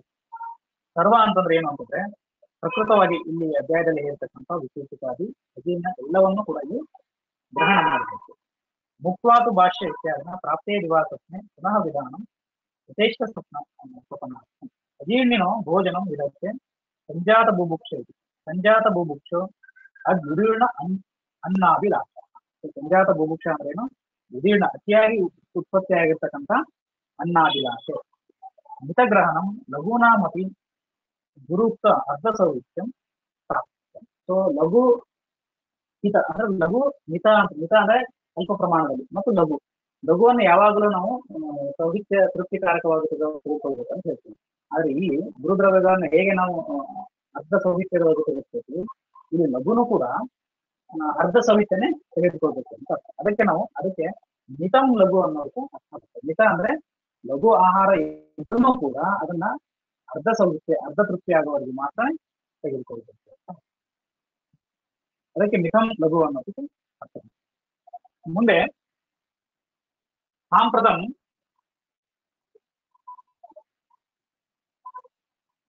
ಸಾಂಪ್ರದಂ ಅಧೀನ ಲಕ್ಷಣಂ ಸಾಮಾನ್ಯನ ಭೂತ್. ವಿಧ ವಿಬಂಧೋ ಅತಿ ಪ್ರವೃತ್ತಿರುವ ಗ್ಲಾನಿರ್ ಮಾರುತ ಮೂರ್ತ. ಅಜೀರ್ಣಲಿಂಗಂ ಸಾಮಾನ್ಯಂ ಇಷ್ಟಂಬೋ ಗೌರವಂ ಬ್ರಹ್ಮ. ಸೊ ಸಾಮಾನ್ಯ ಆಮ ಲಕ್ಷಣ ಅಥವಾ ಅಜೀರ್ಣ ಲಕ್ಷಣವನ್ನು ಸೊ ಇದೇ ಆಮಾಜೀನ ಇಷ್ಟಬ್ದಾದೀನ ವಿರಬ್ದಾದೀನ ಅಂತ ಬೇರೆ ಬೇರೆ ಅಜೀರ್ಣದ ವಿಶೇಷ ಲಕ್ಷಣಗಳನ್ನು ಹೇಳಿ ಅಲ್ಲಿ ಸಾಮಾನ್ಯವಾಗಿ ಎಲ್ಲ ಅಜೀರ್ಣಗಳಲ್ಲಿ ಕಂಡುಬರ್ತಕ್ಕಂಥ ಲಕ್ಷಣಗಳು ಯಾವುವು ಅಂದ್ರೆ ನಿಬಂಧೋ ಅತಿ ಪ್ರವೃತ್ತಿರುವ ಗ್ಲಾನಿ ಮಾರುತ. ಮೂಲಕ ಅಜೀರ್ಣಲಿಂಗಂ ಸಾಮಾನ್ಯ ಇಷ್ಟಂಬು ಗೌರವ ಸೊ ಮೊದಲಿಗೆ ನಾನು ವಿಶಿಷ್ಟ ಮತ್ತು ಅಲಿತಗಳನ್ನು ಹೇಳ್ಬೇಕಾದ್ರೆ ಒಂದು ವಿಷಯವನ್ನು ಹೇಳಿದೆ. ಸೊ ಅಜೀರ್ಣಾದಿಗಳಲ್ಲಿ ಎರಡು ರೀತಿ ಅಥವಾ ಆಮದೋಷಗಳು ಎರಡು ರೀತಿ ಆಗುತ್ತೆ ಕಂಪ್ಲೀಟ್ ಆಗಿ ಒಂದು ವಿಬಂಧ ಅವರೋಧ ಇರ್ತಾರೆ ಇನ್ನೊಂದು ಅತಿ ಪ್ರವೃತ್ತಿ ಸೊ ಪ್ರೋಟೋ ಅವರೋಧ, ಇನ್ನೊಂದು ಪ್ರೋಟೋ ಅತಿ ಪ್ರವೃತ್ತಿ ಸೊ ಎರಡು ಲಕ್ಷಣ ಇರ್ತವೆ. ಅದು ಅಥವಾ ಅದು ಎರಡು ಇರೋದಿಲ್ಲ. ವಿಬಂಧ ಅತಿ ಪ್ರವೃತ್ತಿ ಇರುವ, ವಿಬಂಧ ಅಥವಾ ಅತಿ ಪ್ರವೃತ್ತಿ ಇರ್ತದೆ. ಅದರ ಜೊತೆಗೆ ಗ್ಲಾನಿ, ಶರೀರ ಗ್ಲಾನಿ. ಮಾರುತ ಮೂಢ ನೀಲ ಮೂಢ ಇರ್ತದೆ ಅಜೀರ್ಣಲಿಂಗ ಸಾಮಾನ್ಯ ವಿಷ್ಟಂಬು ಗೌರವಂ ವಿಷ್ಟಂಬ ಅನ್ನೋದು ಆ, ಆಹಾರ ಕಾರ್ಯಗಳಿಗೆ ಕೃಷಿಯಲ್ಲಿ ಕುಕ್ಷಿಯಲ್ಲಿ ಉತ್ಪತ್ತಿ ಆಗಿರ್ತಕ್ಕಂಥ ಅಜ್ಞಾನಕ್ಕೆ ವಿಷ್ಟಂಬ ಅಂತ ಕೊಡ್ತೀವಿ ವಿಬಂಧ ಅಂದ್ರೆ ಅವರೋಧ ಮಲಮೂತ್ರಾದಿಗಳ ಅವರೋಧಕ್ಕೆ ವಿಬಂಧ ಅಂತ ಕೊಡ್ತೀವಿ ವಿಷ್ಟಂಬ ಅಂದ್ರೆ ಕುಕ್ಷಿಯಲ್ಲಿ ಆತ್ಮಾನಾದಿಗಳು ವಾತಾವರಣವಾಗಿದ್ರೆ ಅದಕ್ಕೆ ವಿಷ್ಟಂಬ ಅಂತ ಗೌರವಂ ಶರೀರ ಗೌರವಂ ಉದರ ಗೌರವಂ ಭ್ರಮ ಭ್ರಮ ಉತ್ಪತ್ತಿ ಆಗ್ತದೆ. ಇವು ವಿಬಂಧ ಅಥವಾ ಅತಿ ಪ್ರವೃತ್ತಿ ಜ್ಞಾನಿ ಶರೀರ ಜ್ಞಾನಿ, ಮಾರುತ, ಅಗ್ನಿ, ಮಾರುತ, ಮೂಢಕ ವಿಷ್ಟಂಬ ಮತ್ತೆ ಉದರ ವಾತ ವಿಷ್ಟಂಬ ಗೌರವ ಮತ್ತು ಭಕ್ತಿ ಇವು ಸಾಮಾನ್ಯವಾಗಿ ಎಲ್ಲ ಅಧ್ಯಯನಗಳಲ್ಲಿ ಕಂಡುಬರ್ತಕ್ಕಂಥ ಲಕ್ಷಣ. ವಿಬಂಧ ಅಂತಂದ್ರೆ ಮೂತ್ರ ಪುರುಷ ಯೋಗ ಅಪ್ರವೃತ್ತಿ ಲಕ್ಷಣ. ವಿಬಂಧ ಅಂದ್ರೆ ಮೂತ್ರ ಪುರುಷಾದಿಗಳು ಅಪ್ರವೃತ್ತಿ ಅತಿ ಪ್ರವೃತ್ತಿ ಮೂತ್ರ ಪುರುಷನ ಅತಿ ಪ್ರವೃತ್ತಿ ಮೂತ್ರ ಪುರುಷಾದಿಗಳು ಅತಿ ಪ್ರವೃತ್ತಿ ಆಗ್ತದೆ. ಅಂದ್ರೆ ಅತಿ ಅಂದ್ರೆ ಅತಿಸಾರ ಆಗ್ಲಿ ಸರ್ದಿ ಆಗ್ಲಿ ಆಗ್ತದೆ. ಇನ್ನೊಂದು ವಿಬಂಧ ಕಾನ್ಸ್ಟಿಟ್ಯೂಷನ್ ಆ ರೀತಿ ಇರುತ್ತೆ. ಕಂಡುಬರ್ತವೆ. ಗ್ಲಾನಿ ಶರೀರಸ್ಯ ಮ್ಲಾನ. ಗ್ಲಾನಿ ಅಂದ್ರೆ ಶರೀರದ ಮ್ಲಾನ. ಮಾರುತ ಮೂಲಕ ವಾತಸ್ಯ ಪ್ರತಿಲೋಮ ವಾತದ ಪ್ರತಿಲೋಮ ಯಾವುದೇ ರೀತಿ ಆಗುತ್ತೆ ಉದಾನ ವಾಯುನೇ ಇರಲಿ ಅಪಾನ ವಾಯುನೇ ಇರಲಿ ಯಾವುದೇ ಯಾವುದೇ ವಿಷ್ಟಂಬ ಆತ್ಮ. ವಿಷ್ಟಂಬ ಕುಕ್ಷೆಯಲ್ಲಿ ಆಗ್ತಕ್ಕಂಥ ಆತ್ಮಾನ ಹೇಳ್ತೀವಿ ಅದಕ್ಕೆ ಒಂದು ವಿಷ್ಟಂಬ ಅದು ವಾತಾವರಣದಿಂದಾಗಿ ಗೌರವಂ ಗುರುಗಾತ್ರತ್ವಂ. ಗೌರವ ಅನ್ನೋದು ಸರ್ವ ಶರೀರದ ಗುರು. ಭ್ರಮ ಅಂದ್ರೆ ಮೋಹ. ಏತತ್ ಸಾಮಾನ್ಯಂ ಅಜೀರ್ಣ ಲಕ್ಷಣ. ಇವೆಲ್ಲವೂ ಸಾಮಾನ್ಯವಾಗಿರ್ತಕ್ಕಂಥ ಅಜೀರ್ಣದ ಲಕ್ಷಣ. ಉತ್ತಮ ಸೀದತಿ ಅಂಗಂ ಭ್ರಮೋದ ಮೋಹ ಕೋಶೆ ಮುಂಚಿತಿ ಮಾರುತಃ. ಸರ್ವೇಷಾಂ ಅತಿ ಅಜೀರ್ಣಾಂ ಅವಿಸಮೋಹಿ ಬೇರೆ ತಂತ್ರಾಂತರದಲ್ಲಿಯೂ ಕೂಡ ಈ ಅಜೀರ್ಣದ ಸಾಮಾನ್ಯ ಲಕ್ಷಣವನ್ನ ಅಂಗಸ ಅಂಗಸಾದ ಭ್ರಮ ಮೋಹ ಕೋಶ ಮುಂಚತಿ ಮಾರುತಃ ಸೊ ಅದನ್ನ ಮಾರ್ತದ ವಿಲೋಮಗತಿ ಸೊ ಇವು ಆ, ಸರ್ವೇಷಾಂ ಅಜೀರ್ಣಾನ So, ಎಲ್ಲ ಅಜೀರ್ಣಗಳಲ್ಲಿ ಸಾಮಾನ್ಯವಾಗಿ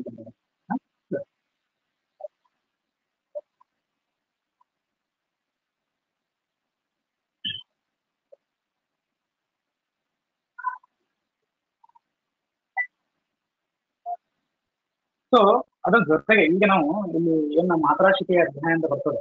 ಮಾತ್ರಾಶಿಕೆಯಲ್ಲಿ ಮಾತ್ರ ಪ್ರಮಾಣ ಮಾತ್ರ ಪ್ರಮಾಣ, ಮಾತ್ರ ಲಕ್ಷಣ ಸೊ ಅತಿ ಮಾತ್ರ ಅಮಾತ್ರಾದಿಗಳಲ್ಲಿ ಉತ್ಪತ್ತಿ ತೆಗೆದುಕೊಂಡಿರ್ತಕ್ಕಂಥ ಆಹಾರ ಈ ಅಜೀರ್ಣಾದಿ ಎಲ್ಲ ವಿಶೇಷ ಮೂರು ರೀತಿಯಾಗಿರ್ತಕ್ಕಂಥ ಅಜೀರ್ಣಗಳಾಗಲಿ ಲಂಬಿಕ ಆಗಲಿ ಇವೆಲ್ಲವೂ ಉತ್ಪತ್ತಿ ಸೊ ಅತಿ ಮಾತ್ರದಿಂದಾನೇ ಮಾತ್ರ ಈ ಅಜೀರ್ಣಾದಿಗಳಾಗ್ತವೆ ಬೇರೆ ಕಾರಣಗಳನ್ನು ಅಜೀರ್ಣಿಸ್ತವೆ ಬೇರೆ ಕಾರಣಗಳನ್ನು ಕೂಡ ಇಲ್ಲಿ ಹೇಳ್ತಾನೆ ಅಜೀರ್ಣಕ್ಕೆ ಯಾವ್ಯಾವ ಕಾರಣ ಸಾಂಪ್ರತಮ ಜೀರ್ಣಕ್ಕೆ ಅನ್ಯಾನ್ಯಕ್ಕೆ ಕಾರಣ ಸೊ ಬೇರೆ ಏನೇನು ಕಾರಣ ಇದೆ ಅಜೀರ್ಣ ಆಗ್ಲಿಕ್ಕೆ ಅನ್ನೋದನ್ನ ಸಂಗ್ರಹಾರ್ಥವಾಗಿ ಕಂಪೈಲ್ ಮಾಡಿ ಹೇಳಿ ಯಾವ್ಯಾವ ಅಂತಂದ್ರೆ ನಚ ಅತಿ ಮಾತ್ರಂ ಏವ ಅನ್ನಂ ಆಮದೋಷಾಯ ಕೇವಲಂ ವಿಷ್ಟ ವಿಷ್ಟಂಬಿ ದದ್ದಾಮ ಗುರುರೂಕ್ಷ ಹಿಮಾಶುಚಿ ವಿದಾಯಿ ಶುಷ್ಕಂ ಅತ್ಯಂಬು ಪ್ಲುತಂ ಚ ಅನ್ನಂ ನ ಜೀವತಿ ಚ ಶೋಕ ಕ್ರೋಧ ಸುಧಾರಿಸತಿ ನ ಚ ಅತಿ ಮಾತ್ರ ಏವ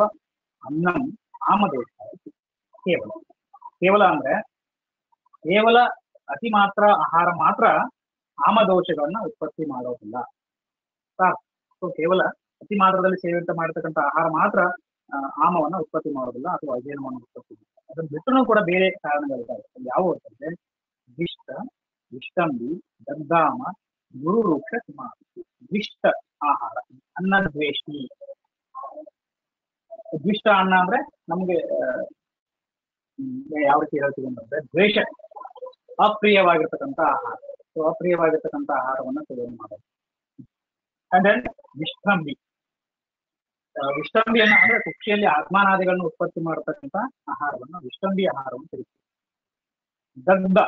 ಅಂದ್ರೆ ಅತಿ ದಗ್ಧ ಅಂದ್ರೆ ಅತಿ ಪಾಕ ಮಾಡಿರ್ತಕ್ಕಂಥ, ಕರಪಾಕ ಮಾಡಿರ್ತಕ್ಕಂಥ ಆಹಾರಗಳನ್ನ ಸೇವನೆ ಅತಿ ದಗ್ಧ ಆಮ ಆಮ ಅಂತಂದ್ರೆ ಅಪಕ್ವವಾಗಿರ್ತಕ್ಕಂಥ ಅಥವಾ ಅಲ್ಪ ಪಕ್ವವಾಗಿರ್ತಕ್ಕಂಥ ಆಹಾರ ಅದು ಹೇಗೆ ಅಂತಂದ್ರೆ ನಾವು ಕುಕ್ ಮಾಡ್ಬೇಕಾದ್ರೆ ಅತಿಯಾಗಿ ಅದನ್ನ ನಾವು ಬೇಯಿಸ್ಬಿಟ್ರೆ ಅದು ದಗ್ಧ ಆಗ್ತದೆ ಅತಿಪಾಕ ಆಗ್ತದೆ.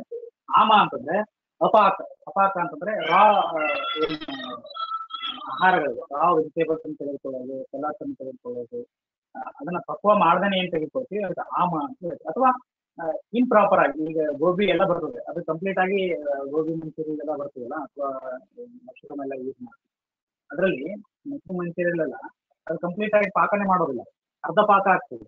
ಅದಕ್ಕೆ ನಾವೇನಂತ ಹೇಳಿದ್ವಿ ಆಮ ದ್ರವ್ಯಗಳು ಉತ್ಪತ್ತಿ ಅಂತ ಹೇಳ್ತೀವಿ ಅದೇ ಆಮ. ಅಂದ್ರೆ ಅಪಕ್ವ ಅಥವಾ ಅಲ್ಪ ಪಕ್ವವಾಗಿರ್ತಕ್ಕಂಥ ಕಂಪ್ಲೀಟ್ ಪಕ್ವ ಆಗಿರೋದು ಖರ ಅನ್ನೋದು ದಗ್ಧ ಪಾಕ ಕಂಪ್ಲೀಟ್ ಆಗಿ ಪಾಕ್- ಆದ್ಮೇಲೂ ಕೂಡ ನಾವು ಪಾಕ ಮಾಡಿದ್ರೆ ಅದು ದೊಡ್ಡ ಪಾಕ ಅಥವಾ ಕರಿ ಆಮ ಪಾಕದಲ್ಲಿ ಅಪಾಕ ಅಥವಾ ಅಲ್ಪ ಪಾಕ. ಎರಡು ರೀತಿ ಸಲಾಡ್ಸ್ ಎಲ್ಲ ತಗೋತೀವಲ್ಲ ರಾ ವೆಜಿಟೇಬಲ್ ಇದೆಲ್ಲ ಏನ್ ಬರ್ತದೆ? ಆಮ ಅಂದ್ರೆ ಏನು ಪಾಕನೆ ಮಾಡಿಲ್ಲ, ಅಪಾಕದಲ್ಲಿ. ಅಲ್ಪ ಪಾಕದಲ್ಲಿ ಈ ರೀತಿ ಎಲ್ಲ ನಾವು ಏನು ಫ್ರೈ ಮಾಡಿ ಹಬ್ಬದಲ್ಲಿ ಬಂದಿದ್ದಾರೆ. ಅಲ್ಲಿ ಮೇಲೆ ಫ್ರೈ ಅಷ್ಟೇ ಮಾಡ್ತಾರೆ ಅದನ್ನ ಪಕ್ವ ಮಾಡೋದಿಲ್ಲ. ಸೊ ಅದು ಆಮ ಅಂತ ಕನ್ಸಿಡರ್ ಅದರಿಂದನೂ ಕೂಡ ಇಲ್ಲಿ ಅಜೀರ್ಣಾದಿಗಳು ಉತ್ಪತ್ತಿ. ಗುರು ರೂಕ್ಷ ಹಿಮಾಶುಚಿ ಗುರು ವಾಗಿರ್ತಕ್ಕಂಥ ಆಹಾರ, ಅತಿ ರೂಕ್ಷವಾಗಿರ್ತಕ್ಕಂಥ ಆಹಾರ. ಹಿಮವ ಹಿಮ ಅಂದ್ರೆ ಅತಿ ಶೀತ. ಸೊ ಫ್ರೀಸ್ಡ್ ಅಂತ ಏನ್ ಹೇಳ್ತೀವಿ? ಇದು ಐಸ್ ಕ್ರೀಮ್ ಆ ಥರದ್ದೆಲ್ಲ ಏನ್ ಬರ್ತದೆ? ಅಥವಾ ಫ್ರೀಸ್ ಅಂದ್ರೆ ಜ್ಯೂಸಸ್ ಅನ್ನ ನಾವು ಅತಿಯಾಗಿ ಐಸ್ ಹಾಕಿ ತೆಗೆದುಕೊಳ್ಳೋದು ಅಥವಾ ಅತಿ ಹಿಮವಾಗಿರ್ತಕ್ಕಂಥ ಆಹಾರವನ್ನು ತೆಗೆದುಕೊಳ್ಳೋದು ಏನು ಬರ್ತದೆ ಅಂತಂದ್ರೆ, ಹಿಮ ಅಶುಚಿ ಭೋಜನ. ಅಶುಚಿ ಅಂತಂದ್ರೆ ಆಹಾರದಲ್ಲಿ ಇನ್ನೇನೋ ಬೇರೆ ಎಕ್ಸ್ಟರ್ನಲ್ ಥಿಂಗ್ಸ್ ಆಗಿದೆ ಏನೇ ಇರ್ಬೋದು. ಅದು ಪಾಂಸು ಇರ್ಬೋದು, ಅಥವಾ ಕೇಶಗಳಿರ್ಬೋದು ಅಥವಾ ಮಸಾಲೆಗಳಿರ್ಬೋದು ಏನೇ ಇರ್ಬೋದು, ಬೇರೆ ಅಶಿಷ್ಯ ಆಗಿರ್ತಕ್ಕಂಥ ಭೋಜನ ವಿದಾಹಿ ವಿದಾಹಿ ಭೋಜನ. ವಿದಾಹಿ ಭೋಜನ ಅಂತಂದ್ರೆ ಎರಡು ರೀತಿ ಅರ್ಥ ಬರ್ತದೆ. ವಿದಾಹಿ ಭೋಜನ ಅಂದ್ರೆ ಅನ್ನ ವಿದಾಹ ಇರ್ಬೇಕಾದ್ರೆ ಆಹಾರ ತೆಗೆದುಕೊಳ್ಳೋದು, ಅಥವಾ ಸ್ವಾಭಾವಿಕವಾಗಿನೇ ಕೆಲವೊಂದು ದ್ರವ್ಯಗಳಲ್ಲಿ ವಿದಾಹ ಗುಣ ಇತ್ತು. ವಿದಾಹ ಗುಣವನ್ನು ನಾವು ಆಹಾರ ಸಂಸ್ಕಾರ ಕೊಟ್ಟು ವಿದಾಹತವನ್ನು ತರಬಹುದು. ಅಥವಾ ಸಾಮಾನ್ಯವಾಗಿ ವಿದಾಹ ಲಕ್ಷಣ ಒಂದೊಂದು ರೋಗಗಳಲ್ಲಿ ಇರ್ತದೆ. ಫಾರ್ ಎಕ್ಸಾಂಪಲ್ ದದಿ ಇದೆ. ದದಿ ಏನಿದೆ? ವಿದಾಹಿ ದ್ರವ್ಯ. ಅದೇ ರೀತಿ ಕುಲತ ಇದೆ. ಕುಲತನು ಕೂಡ ವಿದಾಹಿ ದ್ರವ್ಯ. ಮೂಲಕ ಇದೆ. ಮೂಲಕನು ಕೂಡ ವಿದಾಹಿ ಇದೆ ಸೊ ಇದು ಸಾಮಾನ್ಯವಾಗಿ ಆ ದ್ರವ್ಯದಲ್ಲಿನೇ ವಿದಾಹಿ ಗುಣ ಕೆಲವೊಂದನ್ನು ಇನ್ನು ಕೆಲವೊಂದನ್ನ ನಾವು ವಿದಾಹಿ ಮಾಡ್ತೀವಿ. ಹೇಗೆ ಅಂತಂದ್ರೆ ನಾವು ಈಗೇನು ಇವ್ ಫ್ರೈ ಮಾಡಿರ್ತಕ್ಕಂಥದ್ದು ಏನು ಯೂಸ್ ಮಾಡ್ತೀವಿ? ಪಾಪಡ್ ಆಗಲಿ ಅಥವಾ ಬೇರೆ ಏನೇನು ಫ್ರೈ ಮಾಡಿ ಯೂಸ್ ಮಾಡ್ತೀವಿ? ಇದನ್ನ ನಾವು ಹೀಗೆ ಹೇಳಿದ್ವಿ ಫ್ರೈ ಮಾಡಿ ಎಣ್ಣೆ, ಎಣ್ಣೆಯಲ್ಲಿ ಅಥವಾ ಇದರಲ್ಲಿ ಹುರಿದು ಏನ್ ಮಾಡ್ತೀವಲ್ಲ, ಅದೆಲ್ಲವೂ ಕೂಡ ವಿರಾಹಿತ್ವ ಬರ್ತದೆ. ಸೊ ಹಾಗಾಗಿ ಆ ರೀತಿಯಾಗಿರ್ತಕ್ಕಂಥ ವಿದಾಹಿ ದ್ರವ್ಯಗಳು ಶುಷ್ಕಂ ಅತ್ಯಂಬುಕೃತಂ ಶುಷ್ಕಂ ಅಂತಂದ್ರೆ ಶುಷ್ಕವಾಗಿರ್ತಕ್ಕಂಥ ಆಹಾರ. ಶುಷ್ಕವಾಗಿರ್ತಕ್ಕಂಥದ್ದು ಯಾವುದು ಅಂತಂದ್ರೆ ಶುಷ್ಕ ಮಾಂಸಾದಿಗಳಿರ್ಬೋದು ಶುಷ್ಕ ಶಾಕಾದಿಗಳು ಇರ್ಬೋದು.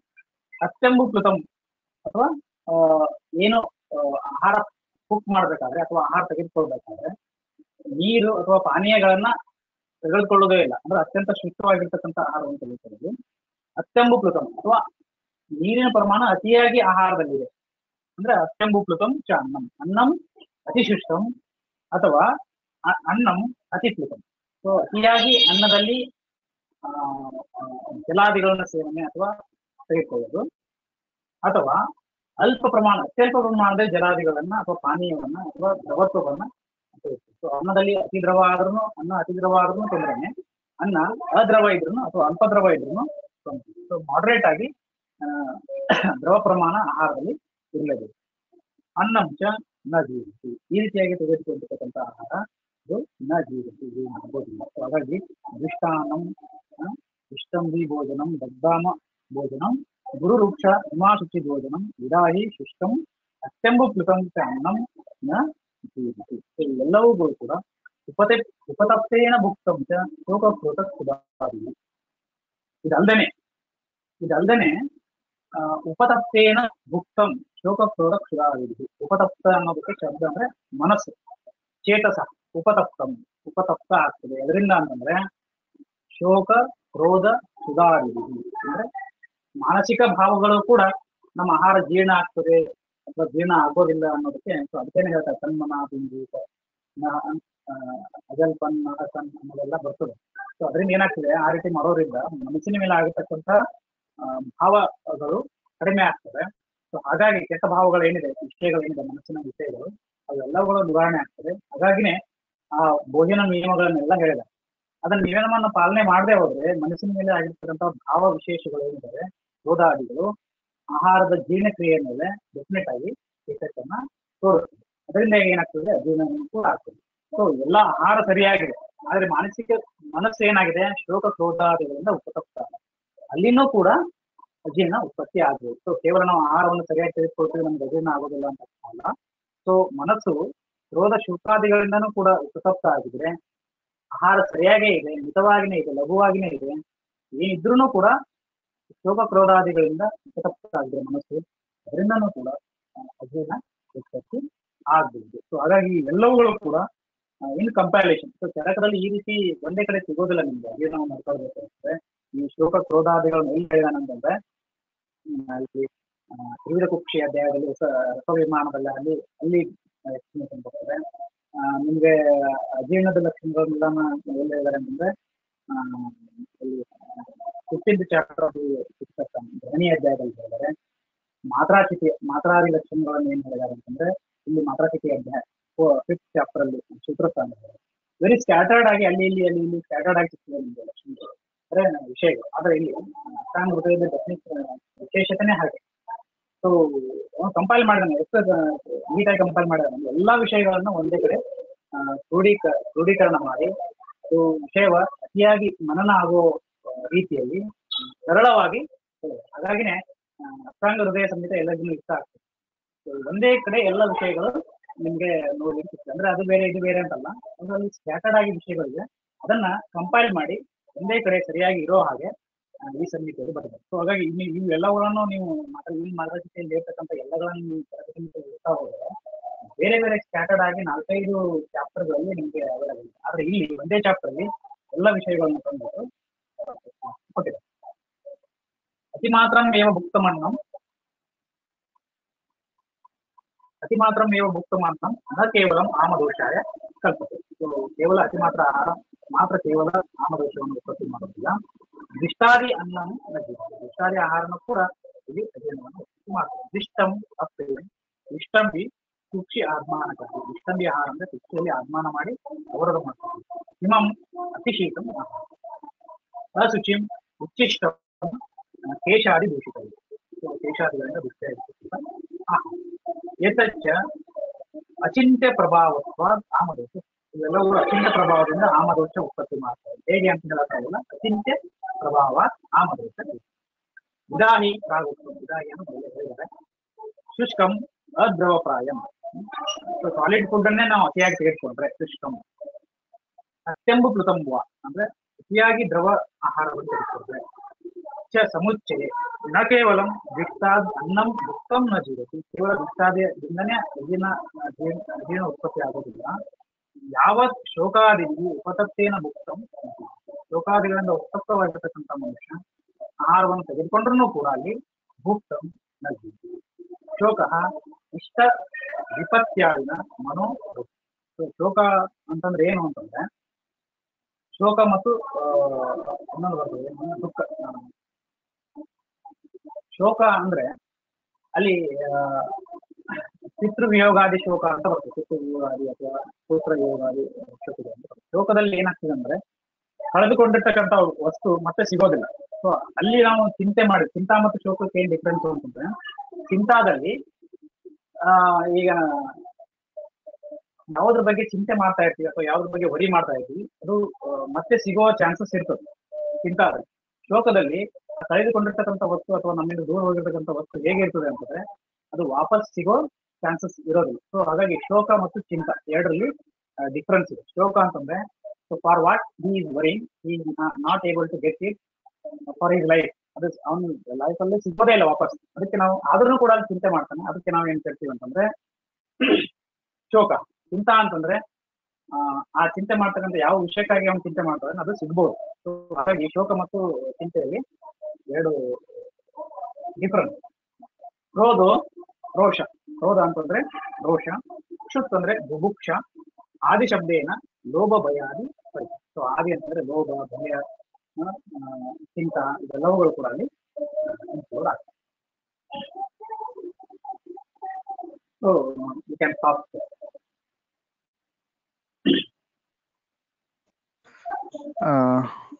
ಸರ್ ಆಕ್ಚುಲಿ ಈಗ ವಿದಾಹಿ ಬಗ್ಗೆ ಬಂತಲ್ಲ ಸರ್ ಅದಕ್ಕೆ ಇನ್ನೊಂದು ರೆಫರೆನ್ಸ್ ಹೇಳಕ್ ಇಷ್ಟಪಡ್ತೀನಿ ಇಲ್ಲಿ. ಅಷ್ಟಾಂಗ್ರದಯ ಸೂತ್ರಸ್ಥಾನ ಐದನೇ ಚಾಪ್ಟರ್ ಅಲ್ಲಿ ಸರ್ ದ್ರವ ದ್ರವ್ಯ ವಿಜ್ಞಾನಿಯ ಚಾಪ್ಟರ್ ಅಲ್ಲಿ ಇಕ್ಷು ವರ್ಗಗಳ ಬಗ್ಗೆ ಹೇಳ್ಬೇಕಾರೆ ಶ್ಲೋಕ ನಂಬರ್ ನಲ್ವತ್ನಾಲ್ಕರಲ್ಲಿ ಇದೆ ಸರ್ ವಿದಾಹಿದು ಟೀಕಾದಲ್ಲಿ ಹೇಳಿದ್ದಾರೆ. ಇದು ವಿದಾಹಿ ಜಾಟರಾಗ್ನಿ ಸಂಯೋಗ ಯಹ ಪಾಕಂ ಗಚ್ಚತಿ ಮಧ್ಯಮ ಮಧ್ಯಮಯ ಮಧ್ಯಮಾಯ ಏವ ಸ್ಥಾಯಂ ಪಿತ್ತಂ ಕುರ್ವಶ್ಚ ಚಿರಕಾಲ ಅವತಿಷ್ಠತೆ. ಅಂದ್ರೆ ಈ ಮಧ್ಯಮ ಅವಸ್ಥಾ ಪಾಕದಲ್ಲಿ ಯಾವ ಆಹಾರ ದ್ರವ್ಯ ಜಾಸ್ತಿ ಹೊತ್ತು ನಿಲ್ಲುತ್ತೋ ಅದನ್ನ ವಿದಾಹಿ ಆಹಾರ ಅಂತ ಕರೀತಾರೆ ಅಂತ. ಇದು ಒಂದು ಡೈರೆಕ್ಟ್ ರೆಫರೆನ್ಸ್ ಇದೆ ಸರ್ ಇಲ್ಲಿ. ಹಂಗೆ ಸರಿ ವಿದಾಹಿ ಅನ್ನೋದು ಕೆಲವೊಂದಿಷ್ಟು ಅಜೀರ್ಣದ ಮೇಲೂ ಡಿಪೆಂಡ್ ಆಗ್ತದೆ. ಕೆಲವೊಂದಿಷ್ಟು ಆಹಾರದ ಮೇಲೆ ಹೇಗೆ ಅಂತಂದ್ರೆ ನಮ್ಮ ಅಗ್ನಿ ಸ್ಥಿತಿ ಯಾವ ರೀತಿಯಾಗಿ ಇರ್ಲಿ. ಅಜೀರ್ಣ ಇರ್ಲಿ ಇರದೇ ಇರ್ಲಿ. ಅಥವಾ ವಿದಗ್ಧಾಜೀರ್ಣ ಇರ್ಲಿ ಇರದೇ ಇರ್ಲಿ. ಆ ಆಹಾರ ತೆಗೆದುಕೊಂಡ್ರೆ ಅಲ್ಲಿ ವಿದಾಹತ್ವ ಅಂದ್ರೆ ಅದು ನೀವೇನ್ ಹೇಳಿದಿಲ್ಲ ವಿದಗ್ಧ ಅವಸ್ಥೆ ಏನಿದೆ ತುಂಬಾ ವಿಶೇಷವಾಗಿ ಈ ದ್ರವ್ಯಗಳನ್ನು ಸೇವಿಸಿಕೊಂಡಾಗ ಉತ್ಪತ್ತಿ ಆಗ್ತದೆ. ಏನು ಸುಲಭ ಮತ್ತು ಬದಿಯಾದಿ ದ್ರವ್ಯಗಳನ್ನ ಏನ್ ಹೇಳಿದ್ರಲ್ಲ ಆ ದ್ರವ್ಯಗಳನ್ನು ತೆಗೆದುಕೊಂಡ್ರೆ ಅವನ ವಿದಗ್ಧ ಜೀರ್ಣ ಆಗೇ ಆಗ್ತದೆ. ಯಾಕೆ ಅಂತಂದ್ರೆ ಸ್ವಭಾವದಲ್ಲಿನೇ ಆ ದ್ರವ್ಯಗಳಲ್ಲಿ ವಿದಾಹಿ ಗುಣ ಇದೆ. ಹ್ಮ್. ಹಾಗಾಗಿ ಆ ಅಲ್ಲಿ ವಿದಗ್ಧಾದಿನಲ್ಲಿ ಯಾವ ಲಕ್ಷಣಗಳು ಉತ್ಪತ್ತಿ ಆಗ್ತವೆ? ದಾಹ ಆಮ್ಲೋದ್ಗಾರ ಇವೆಲ್ಲ ಉತ್ಪತ್ತಿ ಆಗ್ತವಲ್ವಾ? ಹಾ ಹಾಗಾಗಿ ಕುಲತಗಾದಿಗಳನ್ನು ತೆಗೆದುಕೊಂಡ್ರೆ ಆ ಲಕ್ಷಣಗಳು ಉತ್ಪತ್ತಿ ಆಗೇ ಆಗ್ತದೆ ಆ ವಿದಾಹಿ ವಿದಗ್ಧಾವಸ್ಥಾ ಇದೆ it will be drag for longer duration if you take these food ಅವಸ್ಥಾಪಾಕ ಏನು ಮಧುರಾವಸ್ಥಾಪಾಕ ಆಮ್ಲಾವಸ್ಥಾಪಾಕ ಮತ್ತು ಕಟುವಾವಸ್ಥಾಪಾಕ ಆ ಆಮ್ಲಾವಸ್ಥಾಪಾಕದಲ್ಲಿ ಪ್ರತಿಯೊಬ್ಬರಲ್ಲಿ ಪ್ರತಿ ಆಹಾರ ಜೀರ್ಣ ಆಗ್ಬೇಕಾದ್ರೂ ಆ ವಿದಗ್ಧ ಅವಸ್ಥೆಯನ್ನು ಪಾ ಪಾಸ್ ಮಾಡ್ಲೇಬೇಕು ನಾವು. ಹೌದು ಸರ್ ಹ್ಮ್. ಆ ವಿದಗ್ಧಾವಸ್ಥೆಯನ್ನು ನಾರ್ಮಲ್ ಏನಿದೆ ನ್ಯಾಚುರಲ್ ಡೈಜೆಸ್ಟಿಂಗ್ ಪ್ರೋಸೆಸ್ ವಿದಗ್ಧಾವಸ್ಥೆ ಏನಿದೆಯಲ್ಲ ನಾರ್ಮಲ್ ಡೈಜೆಸ್ಟಿಂಗ್ ಪ್ರೊಸೆಸ್. ಅದು ಜಾಸ್ತಿ ಆಗ್ಬಿಟ್ರೆ ಅಲ್ಲಿ ವಿದಗ್ಧ ಜೀರ್ಣ ಅಂತ ಕರೀತಾರೆ. ಆ ಆಮ್ಲ ಸಂಸ್ಥಾಪಕ ಅವಸ್ಥೆಗೆ ಸ್ಪೆಸಿಫಿಕ್ ಆಗಿ ಇನ್ನೂ ಅತಿಯಾಗಿ ಲಕ್ಷಣಗಳು ಉತ್ಪತ್ತಿಯಾಗಿ ಅದು ಕಾಣಿಸ್ಕೊಳ್ತು ಅಂದ್ರೆ ಅತಿ ಸಮಯದವರೆಗೆ ಕಾಣಿಸ್ಕೊಳ್ತು ಅಂತ ಹೇಳಿದ್ರಲ್ಲ ತುಂಬಾ ಇನ್ನೊಂದು ಸ್ವಲ್ಪ ಏನಿದೆ ಅಂತದ್ದು? ಹ್ಮ್. ಏನ್ ಹೇಳಿದಾರ ಅಲ್ಲಿ ಇದರಲ್ಲಿ ಸರ್ ಇದ್ರಲ್ಲ ಸರ್ ಅದೇ ಸರ್ ವಿದಹ್ಯಮಾನಃ ಪಿತ್ತಂ ಕುರ್ವನ್ ಕುರ್ವನ್ ಚಿರಕಾಲಂ ಅವತಿಷ್ಠತೆ. ನ ಜರಾಂ ಹಾ ಸರ್. ಅಲ್ಲಿ ಏನಾಗ್ತದೆ ಅಂದ್ರೆ ಇಲ್ಲಿ ನಾವು ಆಮ್ಲ ಅವಸ್ಥಾಪಾಕ ಹೇಳಿದ್ದಾರೆ ಸರ್. ಆಮ್ಲ ಅವಸ್ಥಾಪಾಕ ಅಂತ ಹೇಳ್ತೀವಿ ನಾವು. ಆಮ್ಲ ಅವಸ್ಥಾಪಾಕದಲ್ಲಿ ಏನಾಗ್ತದೆ? ಅಲ್ಲಿ ಪಿತ್ತ ಉತ್ಪತ್ತಿ ಆಗ್ತದೆ ಅಂತ ಹೇಳ್ತೀವಿ. ಪಿತ್ತ ಉತ್ಪತ್ತಿ ಇದನ್ನ ನಾವು ಅಲ್ಲಿ ವಿದಗ್ಧ ಅಂತ ಹೇಳ್ತೀವಿ. ಅಲ್ಲಿ ವಿದಗ್ಧ ಅವಸ್ಥೆ ಇರ್ತದೆ. ಅಲ್ಲಿ ಪಿತ್ತ ಜಾಸ್ತಿ ಆಗ್ತದೆ. ದಾಹದ ಲಕ್ಷಣಗಳು ಸಾಮಾನ್ಯವಾಗಿ ಪಿತ್ತದಿಂದ ಉತ್ಪತ್ತಿ ಆಗೇ ಆಗ್ತದೆ. ಅದು ಅಲ್ಪ ಪ್ರಮಾಣದಲ್ಲಿದ್ದು ಅದೇ ಸಮಯದಲ್ಲಿ ಆ ವಿಧದ ಅವಸ್ಥೆ ದಾಟಿ ಹೋಯ್ತು ಅಂತಂದ್ರೆ ಅದು ಕೇವಲ ಆಮ್ಲಾವಸ್ಥಾ ಪಾತ್ರ ಅಲ್ಲಿಂದ ಯಾವುದೇ ರೀತಿಯಾಗಿರ್ತಕ್ಕಂಥ ಬೇರೆ ಆಹಾರ ಲಕ್ಷಣಗಳು ಗೊತ್ತಾಗೋ ಹಾಗೆ ಆ ಮನುಷ್ಯನಿಗೆ ಗೊತ್ತಾಗೋ ಹಾಗೆ ಜಾಸ್ತಿ ತೊಂದರೆಗಳನ್ನ ಮಾಡಬೇಕು ಈ ವಿದಗ್ಧಾವಸ್ಥೆ ಅಥವಾ ಆಮ್ಲಾವಸ್ಥಾಪಾಕ ತುಂಬಾ ಸಮಯ ಇರುವವರೆಗೆ ಉಳಿತದೆ. ಆ ವಿದಗ್ಧ ಅವಸ್ಥೆಯಲ್ಲೇ ಅನ್ನ ಜೀರ್ಣ ಆಗೋದಿಲ್ಲ. ಜೀರ್ಣ ಆಗಲಿಕ್ಕೆ ತುಂಬಾ ಸಮಯ ತೆಗೆದುಕೊಳ್ತದೆ. ಅವಾಗ ಅಲ್ಲಿ ಏನಂತಂದ್ರೆ ಸುತ್ತಾದಿ ಪಿತ್ತಾದಿ ಲಕ್ಷಣಗಳು ಜಾಸ್ತಿ ಆಗ್ತದೆ. ದಾಹಾದಿ ಲಕ್ಷಣಗಳು ಜಾಸ್ತಿ ಯಾಕೆ ಜಾಸ್ತಿ ಆಗ್ತದೆ? ವಿದಗ್ಧ ಅವಸ್ಥೆ ಜಾಸ್ತಿ ಸಮಯದಲ್ಲಿ ಯಾಕೆ ಉಳಿತದೆ ಅಂತಂದ್ರೆ ಒಂದು ಅಲ್ಲಿ ಚಿತ್ತವೃದ್ಧಿ ಆಗ್ತಕ್ಕಂತ ಆಹಾರವನ್ನ ಜಾಸ್ತಿ ತೆಗೆದುಕೊಂಡಿದ್ದಾನೆ. ನಾವೇನ್ ಹೇಳ್ತೀವಿ ಜೀರ್ಣ ಅಂತ ಏನ್ ಹೇಳ್ತೀವಿ ಅದರಿಂದಾಗಿ ಆಗುತ್ತೆ. ಅಥವಾ ಅವನು ತೆಗೆದುಕೊಳ್ತಕ್ಕಂತ ಆಹಾರನೇ ವಿದಗ್ಧವಾಗಿ ಇದಾಗಿ ಇದೆ. ಅವನು ತೆಗೆದುಕೊಂಡಿರ್ತಕ್ಕಂಥ ಆಹಾರನೇ ಇದಾಗಿ ಹೇಗೆ ಅಂತಂದ್ರೆ ದದಿಯಾದಿಗಳು ಇರ್ಬೋದು ಅಥವಾ ಕುಲಥಾದಿಗಳು ಇರ್ಬೋದು ಅಥವಾ ಮೂಲಕಾದಿಗಳು ಇರ್ಬೋದು. ವಿದಾಹಿ ಲಕ್ಷಣ ನೀವು ನೋಡಿ ಅಲ್ಲಿ ಅನ್ನ ಸ್ವಲ್ಪ ಅಂತೂ ಅನ್ನ ಸ್ವರೂಪ ಅಧ್ಯಾಯದಲ್ಲಿ ದದಿ ಮತ್ತು ಕುಲತ್ವಕ್ಕೆ ಏನ್ ಹೇಳಿದ್ದಾರೆ? ಇದೆ ನೋಡಿ ನೋಡಿ ಮತ್ತೆ. ಅನ್ನ ಸ್ವರೂಪ ಅಧ್ಯಾಯದಲ್ಲಿ ಅಥವಾ ದ್ರವದ್ರವ್ಯದಲ್ಲಿ ದದಿ ಏನ್ ಹೇಳಿದ್ದಾರೆ? ನೋಡ್ತೀರಾ? ಆ, ಹಾ ಸರ್ ನೋಡ್ತೀನಿ. ನೋಡಿ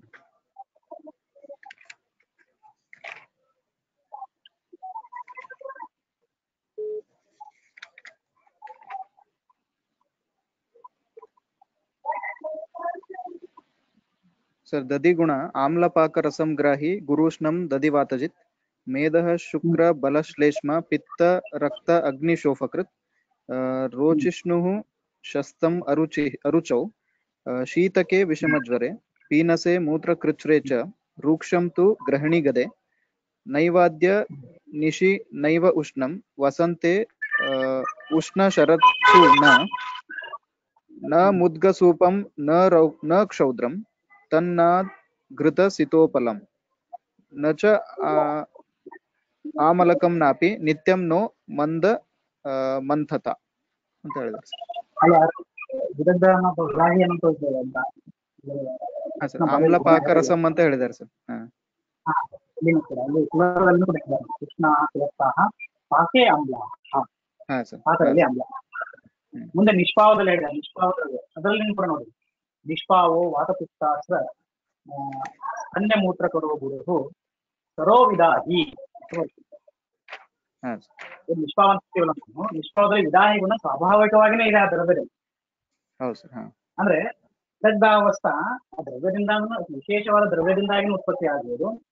ಅಥವಾ ಜೀರ್ಣದಿಂದಾಗಿನೂ ಅಥವಾ ವೃದ್ಧಿಯಾಗಿಂದನೂ ಕೂಡ ಉತ್ಪತ್ತಿ ಆಗ್ಬೋದು. ಅಥವಾ ನೀವು ಆ ದ್ರವ್ಯವನ್ನು ಹೇಗೆ ಪ್ರೊಸೆಸ್ ಮಾಡ್ತೀರಿ?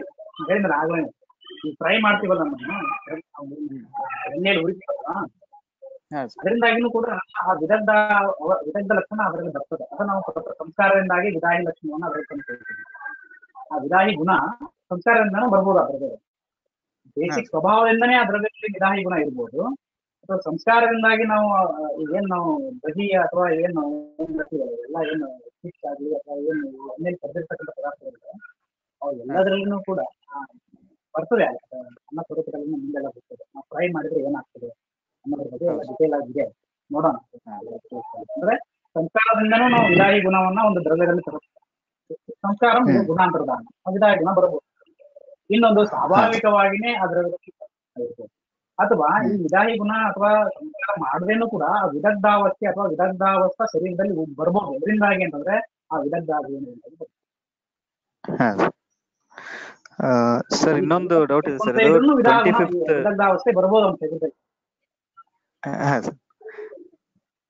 ಟ್ವೆಂಟಿ ಫಿಫ್ತ್ ಶ್ಲೋಕದಲ್ಲಿ ಸರ್ ಅಜೀರ್ಣಂ ಚ ಕಫ ಆಮಂ ತತ್ರ ಶೋಫು ಅಕ್ಷಿಗಂಡಯೋಹು ಅಂತಿದೆ ಅಲ್ಲ ಸರ್. ಸೊ ಅಲ್ಲಿ ಅಕ್ಷಿಗಂಡ ಶೋಫದಲ್ಲಿ ನಾವು ಇದು ಆಂಜಿಯೋ ಎಡಿನೋಮಾಸ್ ಎಲ್ಲ ತಗೋಬಹುದು ಸರ್? ಅಜೀರ್ಣದಿಂದಾನೇ ಉಂಟಾಗುತ್ತಲ್ಲ. ಯಾಕೆ ಕೇಳ್ತಿದ್ದೀನಿ ಅಂದ್ರೆ ಒಂದು ಕೇಸ್ ಇತ್ತು ಸರ್ ಇದ್ರ ಆಂಜಿಯೋ ಎಡಿನೋಮಾದು lip swelling and facial swelling ಎಲ್ಲ ಬರ್ತಿತ್ತು ಸರ್ ಅದು. ಮಾಡರ್ನ್ ಅವರೆಲ್ಲ ಅಲರ್ಜಿಕ್ ಅಂತ ಹೇಳಿದ್ರು ಎಂಜಿಯೋ ಅಡಿನೋಮ್ ಅಂತ. ಸೊ ನಾನು ಕಫ ಅಜೀರ್ಣ ಅಂತ ಹೇಳಿ ಹಂಗೆ ಟ್ರೀಟ್ ಲೈಕ್ ಸದ್ಯ ವಮನ ಮಾಡಿಸಿ ಬೆಳಗ್ಗೆ.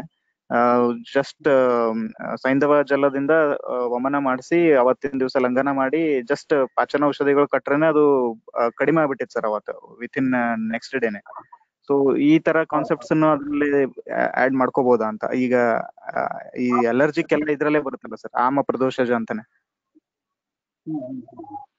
ಡೆಫಿನೆಟ್ ಆಗಿ ಡೆಫಿನೆಟ್ ಆಗಿ ನಾವು ಅದನ್ನ ಅಲ್ಲಿ ಮಾಡ್ಬೇಕಾಗ್ತದೆ ಹೇಳ್ತಾರೆ ಶ್ರೋತ ಮೂರು ರೀತಿ ಆಗಿದೆ. ಮೂರು ಇರ್ತಂದ್ರೆ ಒಂದು ಕಂಟಿನ್ಯೂಸ್ ಆಗಿ ಉಳಿಯುವಂಥದ್ದು. ಇನ್ನೊಂದು ವಾರದಿಂದಾಗಿ ಆಗಿತ್ತು ಅಂದ್ರೆ ಕೆಲವೊಬ್ಬರಿಗೆ ಬೆಳಗ್ಗೆ ಬರ್ತದೆ ಸ್ವಲ್ಪ ಹೊತ್ತು ಆದ್ಮೇಲೆ ಹೋಗ್ಬಿಡುತ್ತೆ. ಹಾ ಹಾ ಸರ್ ಹೌದು. ಲಕ್ಷಣಗಳು ಕಂಡುಬರ್ತದೆ ಅದು. ಸ್ವಲ್ಪ ಶ್ರೋತ ಬರ್ತದೆ. ಆಮೇಲೆ ಇಮಿಡಿಯೇಟ್ ಆಗಿ ಕೆಲ ಗುಣ ಇರ್ತದೆ. ಕೆಲವೊಬ್ಬರಿಗೆ ಶೋಧ ಬರ್ತದೆ ತುಂಬಾ ಸಮಯದವರೆಗೆ ಉಳಿತದೆ. ಅಲ್ವಾ? ಅಲ್ಲಿ ನಾವು ಅಲ್ಲಿ ಆ ಶ್ರೋತ ಅಂದ್ರೆ ಕಫ ಮತ್ತು ಆಮ ಇರ್ತಕ್ಕಂತ ಅವಸ್ಥೆ. ದೋಷಗಳ ಜೊತೆ ಕಫ ಮತ್ತು ಆಮ ಯಾವಾಗ ಇರ್ತದೆ? ಆ, ಅಥವಾ ಕಫ ಜಾಸ್ತಿ ಇತ್ತು ಅಥವಾ ಆಮ ಇರ್ತಕ್ಕಂಥದ್ದು ಅಂತ. ನೀವು ಅಧ್ಯಯನದಲ್ಲಿ ಇಲ್ಲಿ ಅಧ್ಯಯನ ಇರೋದು ಅಧ್ಯಯನ ಕನ್ಸಿಡರ್ ಮಾಡ್ಬೋದು. ಆ ಅಧೀನವಾಗಿರ್ತಕ್ಕಂಥ ಆಮ ದೋಷಗಳು ವಾತದ ಜೊತೆಗಿದ್ರೆ ಅಲ್ಲಿ ಶೋತನ ಕಂಡು ಬರಬಹುದು ಕೆಲವೊಂದು ನೀವು ಹೇಳಿದಲ್ಲ ಕಣ್ಣು ಆಗ್ಲಿ ಮುಖ ಬಾಯಿ ಆಗ್ಲಿ ಉಟ್ಕೊಂಡಿರ್ತದೆ ಹಾ, So, ಬೆಳಿಗ್ಗೆ ಅಥವಾ ಸಾಯಂಕಾಲ ಒಂದು ಟೈಮ್ ಆಮೇಲೆ ಹೋಗ್ಬಿಡುತ್ತೆ So, ಆ ರೀತಿ ಇದ್ರೆ ಅದು ವಾತದಿಂದಾಗಿನೂ ಆಗಿರ್ತದೆ ಕೆಲವೊಮ್ಮೆ ಕಂಟಿನ್ಯೂಸ್ ಆಗಿ ಹೋದ್ರೆ ಅದು ಕಫದಿಂದಾಗಿನೂ ಆಗ್ತದೆ. ಅದು ಅದನ್ನ ಡೆಫಿನೆಟ್ ಆಗಿ ನಾವು ಅಧ್ಯಯನದಲ್ಲಿ ಕನ್ಸಿಡರ್ ಮಾಡ್ತಾ ಇದ್ದೀವಿ. ಬರೀ ಆಲ್ಬೈಟಲ್ ಅಡಿಮೆ ಆಗಲಿ ಲಿಪ್ ಕಲ್ಲಿಂದ ಆಗಲಿ ಹಾ ಹಾ ಡೆಫಿನೆಟ್ ಆಗಿ okay. Thank you So, sir allergy ಅನ್ನೋದು- ಎನಿ ಅದರ್ ಡೌಟ್ಸ್ ಹಾ ಸರ್. ಹಲೋ ಹೇಳಿ ಸರ್ ಹೇಳಿ. Doctor Prashanth sir you can speak hello ಕೇಳಿಸ್ತದೆ ಹೇಳಿ. ಹಲೋ ಹಾ ಸರ್. ಕೆಲವೊಂದ್ಸತಿ ವೆಜಿಟೇಬಲ್ ವೆಜಿಟೇಬಲ್ ಸಲಾಡ್ ಅಂತ ತಗೋತಾರಲ್ಲ ಸರ್. ಅದರಲ್ಲಿಂದ ಹೌದು. ತಗೋತೀವಿ ಸರ್. ಅದು ಏನ್ರೆ ಅಜೀರ್ಣ ಫಾರ್ಮೇಶನ್ ಕಾರಣ ಆಗುತ್ತೆ ಡೈರೆಕ್ಟ್ ಆಗಿ ಇಲ್ಲಿ ಹೇಳ್ಬಿಟ್ಟಿದಾರಲ್ಲ ಅದು ಆಮದ್ರವ್ಯಗಳನ್ನು ತೆಗೆದುಕೊಳ್ಬಾರ್ದು ಅಪಕ್ವಮ್ ಅಂತ ಹೇಳ್ಬಿಟ್ಟಿದ್ದಾರೆ ಅಪಕ್ವವಾಗಿರ್ತಕ್ಕಂಥ ಶಾಖಗಳ, ಶಾಖ ವರ್ಗದಲ್ಲಿ, ಅದನ್ನ ಇಂಪಾರ್ಟೆಂಟ್ ಆಗಿರೋದು ಶಾಖ ವರ್ಗ ನಮ್ಮ ಆಹಾರದಲ್ಲಿ ತಿಳ್ಕೊಳ್ಬೇಕು ಅಂತಂದ್ರೆ, ಈ ದ್ರವ್ಯ ಅನ್ನ ಸ್ವರೂಪ ಅಧ್ಯಾಯದಿಂದ ಕಂಪ್ಲೀಟ್ ಆಗಿ ನಾವು ಓದಲೇಬೇಕು ಅದರಲ್ಲಿ ಹೇಗೆ ನಮ್ಗೆ ಶಾಖಗಳ ವೆಜಿಟೇಬಲ್ಸ್ ಅಂತ ಕರಿತೇನೆ ಎಲ್ಲ ಸೊ ಅಲ್ಲಿ ಹೇಗೆ ಉಪಯೋಗ ಮಾಡೋ ರೀತಿ ಹೇಗೆ ಹೇಳಿದಾನೆ ಅಂತಂದ್ರೆ ಶಾಖಗಳನ್ನ ನಾವು ಸೇವನೆ ಮಾಡಲೇಬೇಕು. ಸ್ವೇದನ ಮಾಡದೆ ಶಾಖಗಳನ್ನ ಉಪಯೋಗ ಮಾಡಲೇಬಾರ್ದು. ಸ್ವೇದನ ಮಾಡಿನೂ ಕೂಡ ಅದರಲ್ಲಿ ಸ್ನೇಹ ದ್ರವ್ಯ ಅಧಿಕವಾಗಿ ಉಪಯೋಗ ಮಾಡಿನೇ ಮಾಡಬೇಕು ಅಂತ ಹೇಳ್ತಾರೆ. ಶಾಖಗಳನ್ನ ಉಪಯೋಗ ಮಾಡ್ಬೇಕಾದ್ರೆ ನಾವು ರಾ ವೆಜಿಟೇಬಲ್ ಉಪಯೋಗ ಮಾಡಿ ಕಲರ್ಸ್ ಏನಿದೆ ಕಂಪ್ಲೀಟ್ ಆಗಿ ಅವಾಯ್ಡ್ ಮಾಡಿ. ಅದು ದೋಷಕಾರಕ. ಅಲ್ಲಿ ಮುಂದೆ ಬರ್ತದೆ. ಇಲ್ಲಿ ಏನಂತಂದ್ರೆ ಅನ್ನ ಸ್ವರೂಪದಲ್ಲಿ ಹೇಳ್ಬೇಕಾದ್ರೆ ಶಾಖವರ್ಗ ಹೇಳ್ಬೇಕಾದ್ರೆ ಶಾಖವರ್ಗವನ್ನು ಹೇಗೆ ಸ್ವೇದನಂ ಭೂರಿ ಸ್ನೇಹಂ ಅಂತ ಅದನ್ನ ನೀವು ಅಂತ ಹೇಳ್ತೀವಿ. ನಮ್ಮಲ್ಲಿ ಕುಕ್ ಮಾಡ್ತಾರಲ್ಲ, ಅದನ್ನ ಬಸಿತಾರ ಆಮೇಲೆ. ಅದನ್ನ ಕುಕ್ ಮಾಡಿ ಅದ್ ನೀರ್ ತೆಗಿಬೇಕು ನಾವು ಅಂತ. ಸ್ವೇದನ ಮಾಡ್ಲೇಬೇಕು. ಸ್ವೇದನ ಮಾಡಿ ಅದ್ರ ನೀರ್ ತೆಗೆದು ಆಮೇಲೆ ಅದಕ್ಕೆ ನಾವು ಸ್ನೇಹವನ್ನ ಅತಿಯಾಗಿ ಜಾಸ್ತಿ ಪ್ರಮಾಣದಲ್ಲಿ ಸ್ನೇಹ ಹಾಕಿ ಆ ಪಲ್ಯ ಅಥವಾ ಏನಂತ ಮಾಡ್ತೀವಿ ಸೊ ಕಲರ್ಸ್ ಈ ರಾಡಿಶ್ ಆಗಲಿ ಅಥವಾ ಏನಿದೆ ಖಾತೆಗಳನ್ನ ನಾವು ಕುಕ್ ಮಾಡ್ದೇನೆ ಕಂಪ್ಲೀಟ್ ಕುಕ್ ಮಾಡ್ದೇನೆ ಉಪಯೋಗ ಮಾಡಬೇಕು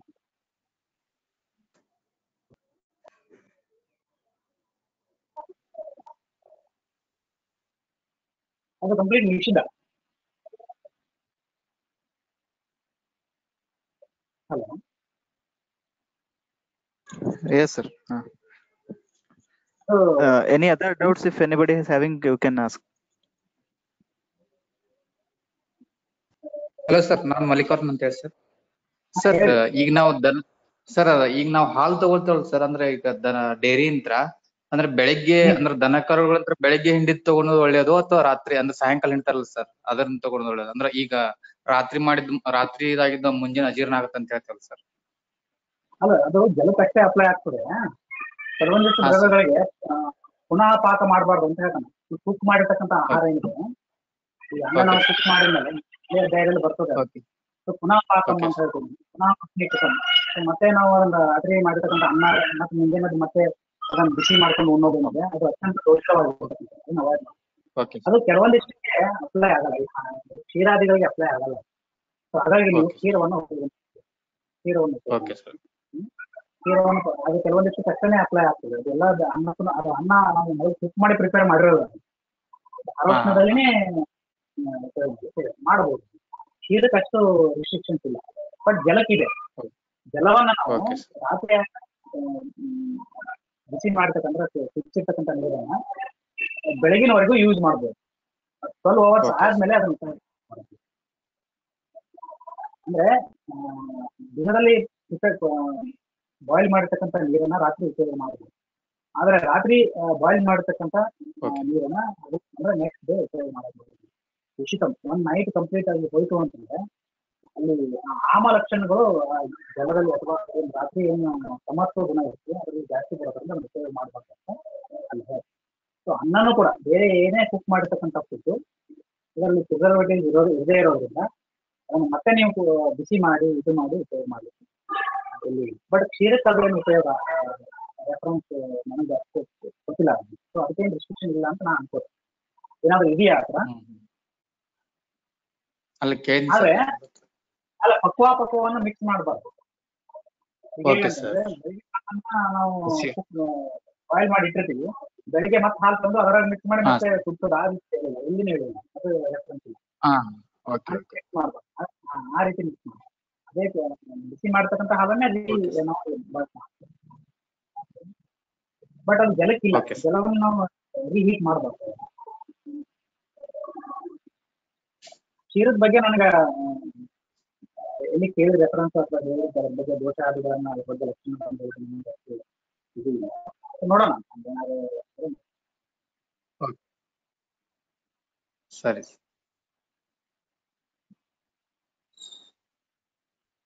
thank you Uh, uh, I think uh, there is no doubt from anyone. If anybody is having any doubt, also please note it and we will discuss with sir in the next class. Uh, so I thank uh, Dr. Sidram Gude sir with uh, wholeheartedly for your time, sir. Actually, we discussed more than uh, one and a half hour today. Uh, thank you so much, sir. Next time, next day, uh, tomorrow we have the same, hmm, ten thirty. Hmm, By ten thirty we start and by eleven thirty exactly we will be there. Uh, sir. Okay, sir. Uh, Hmm.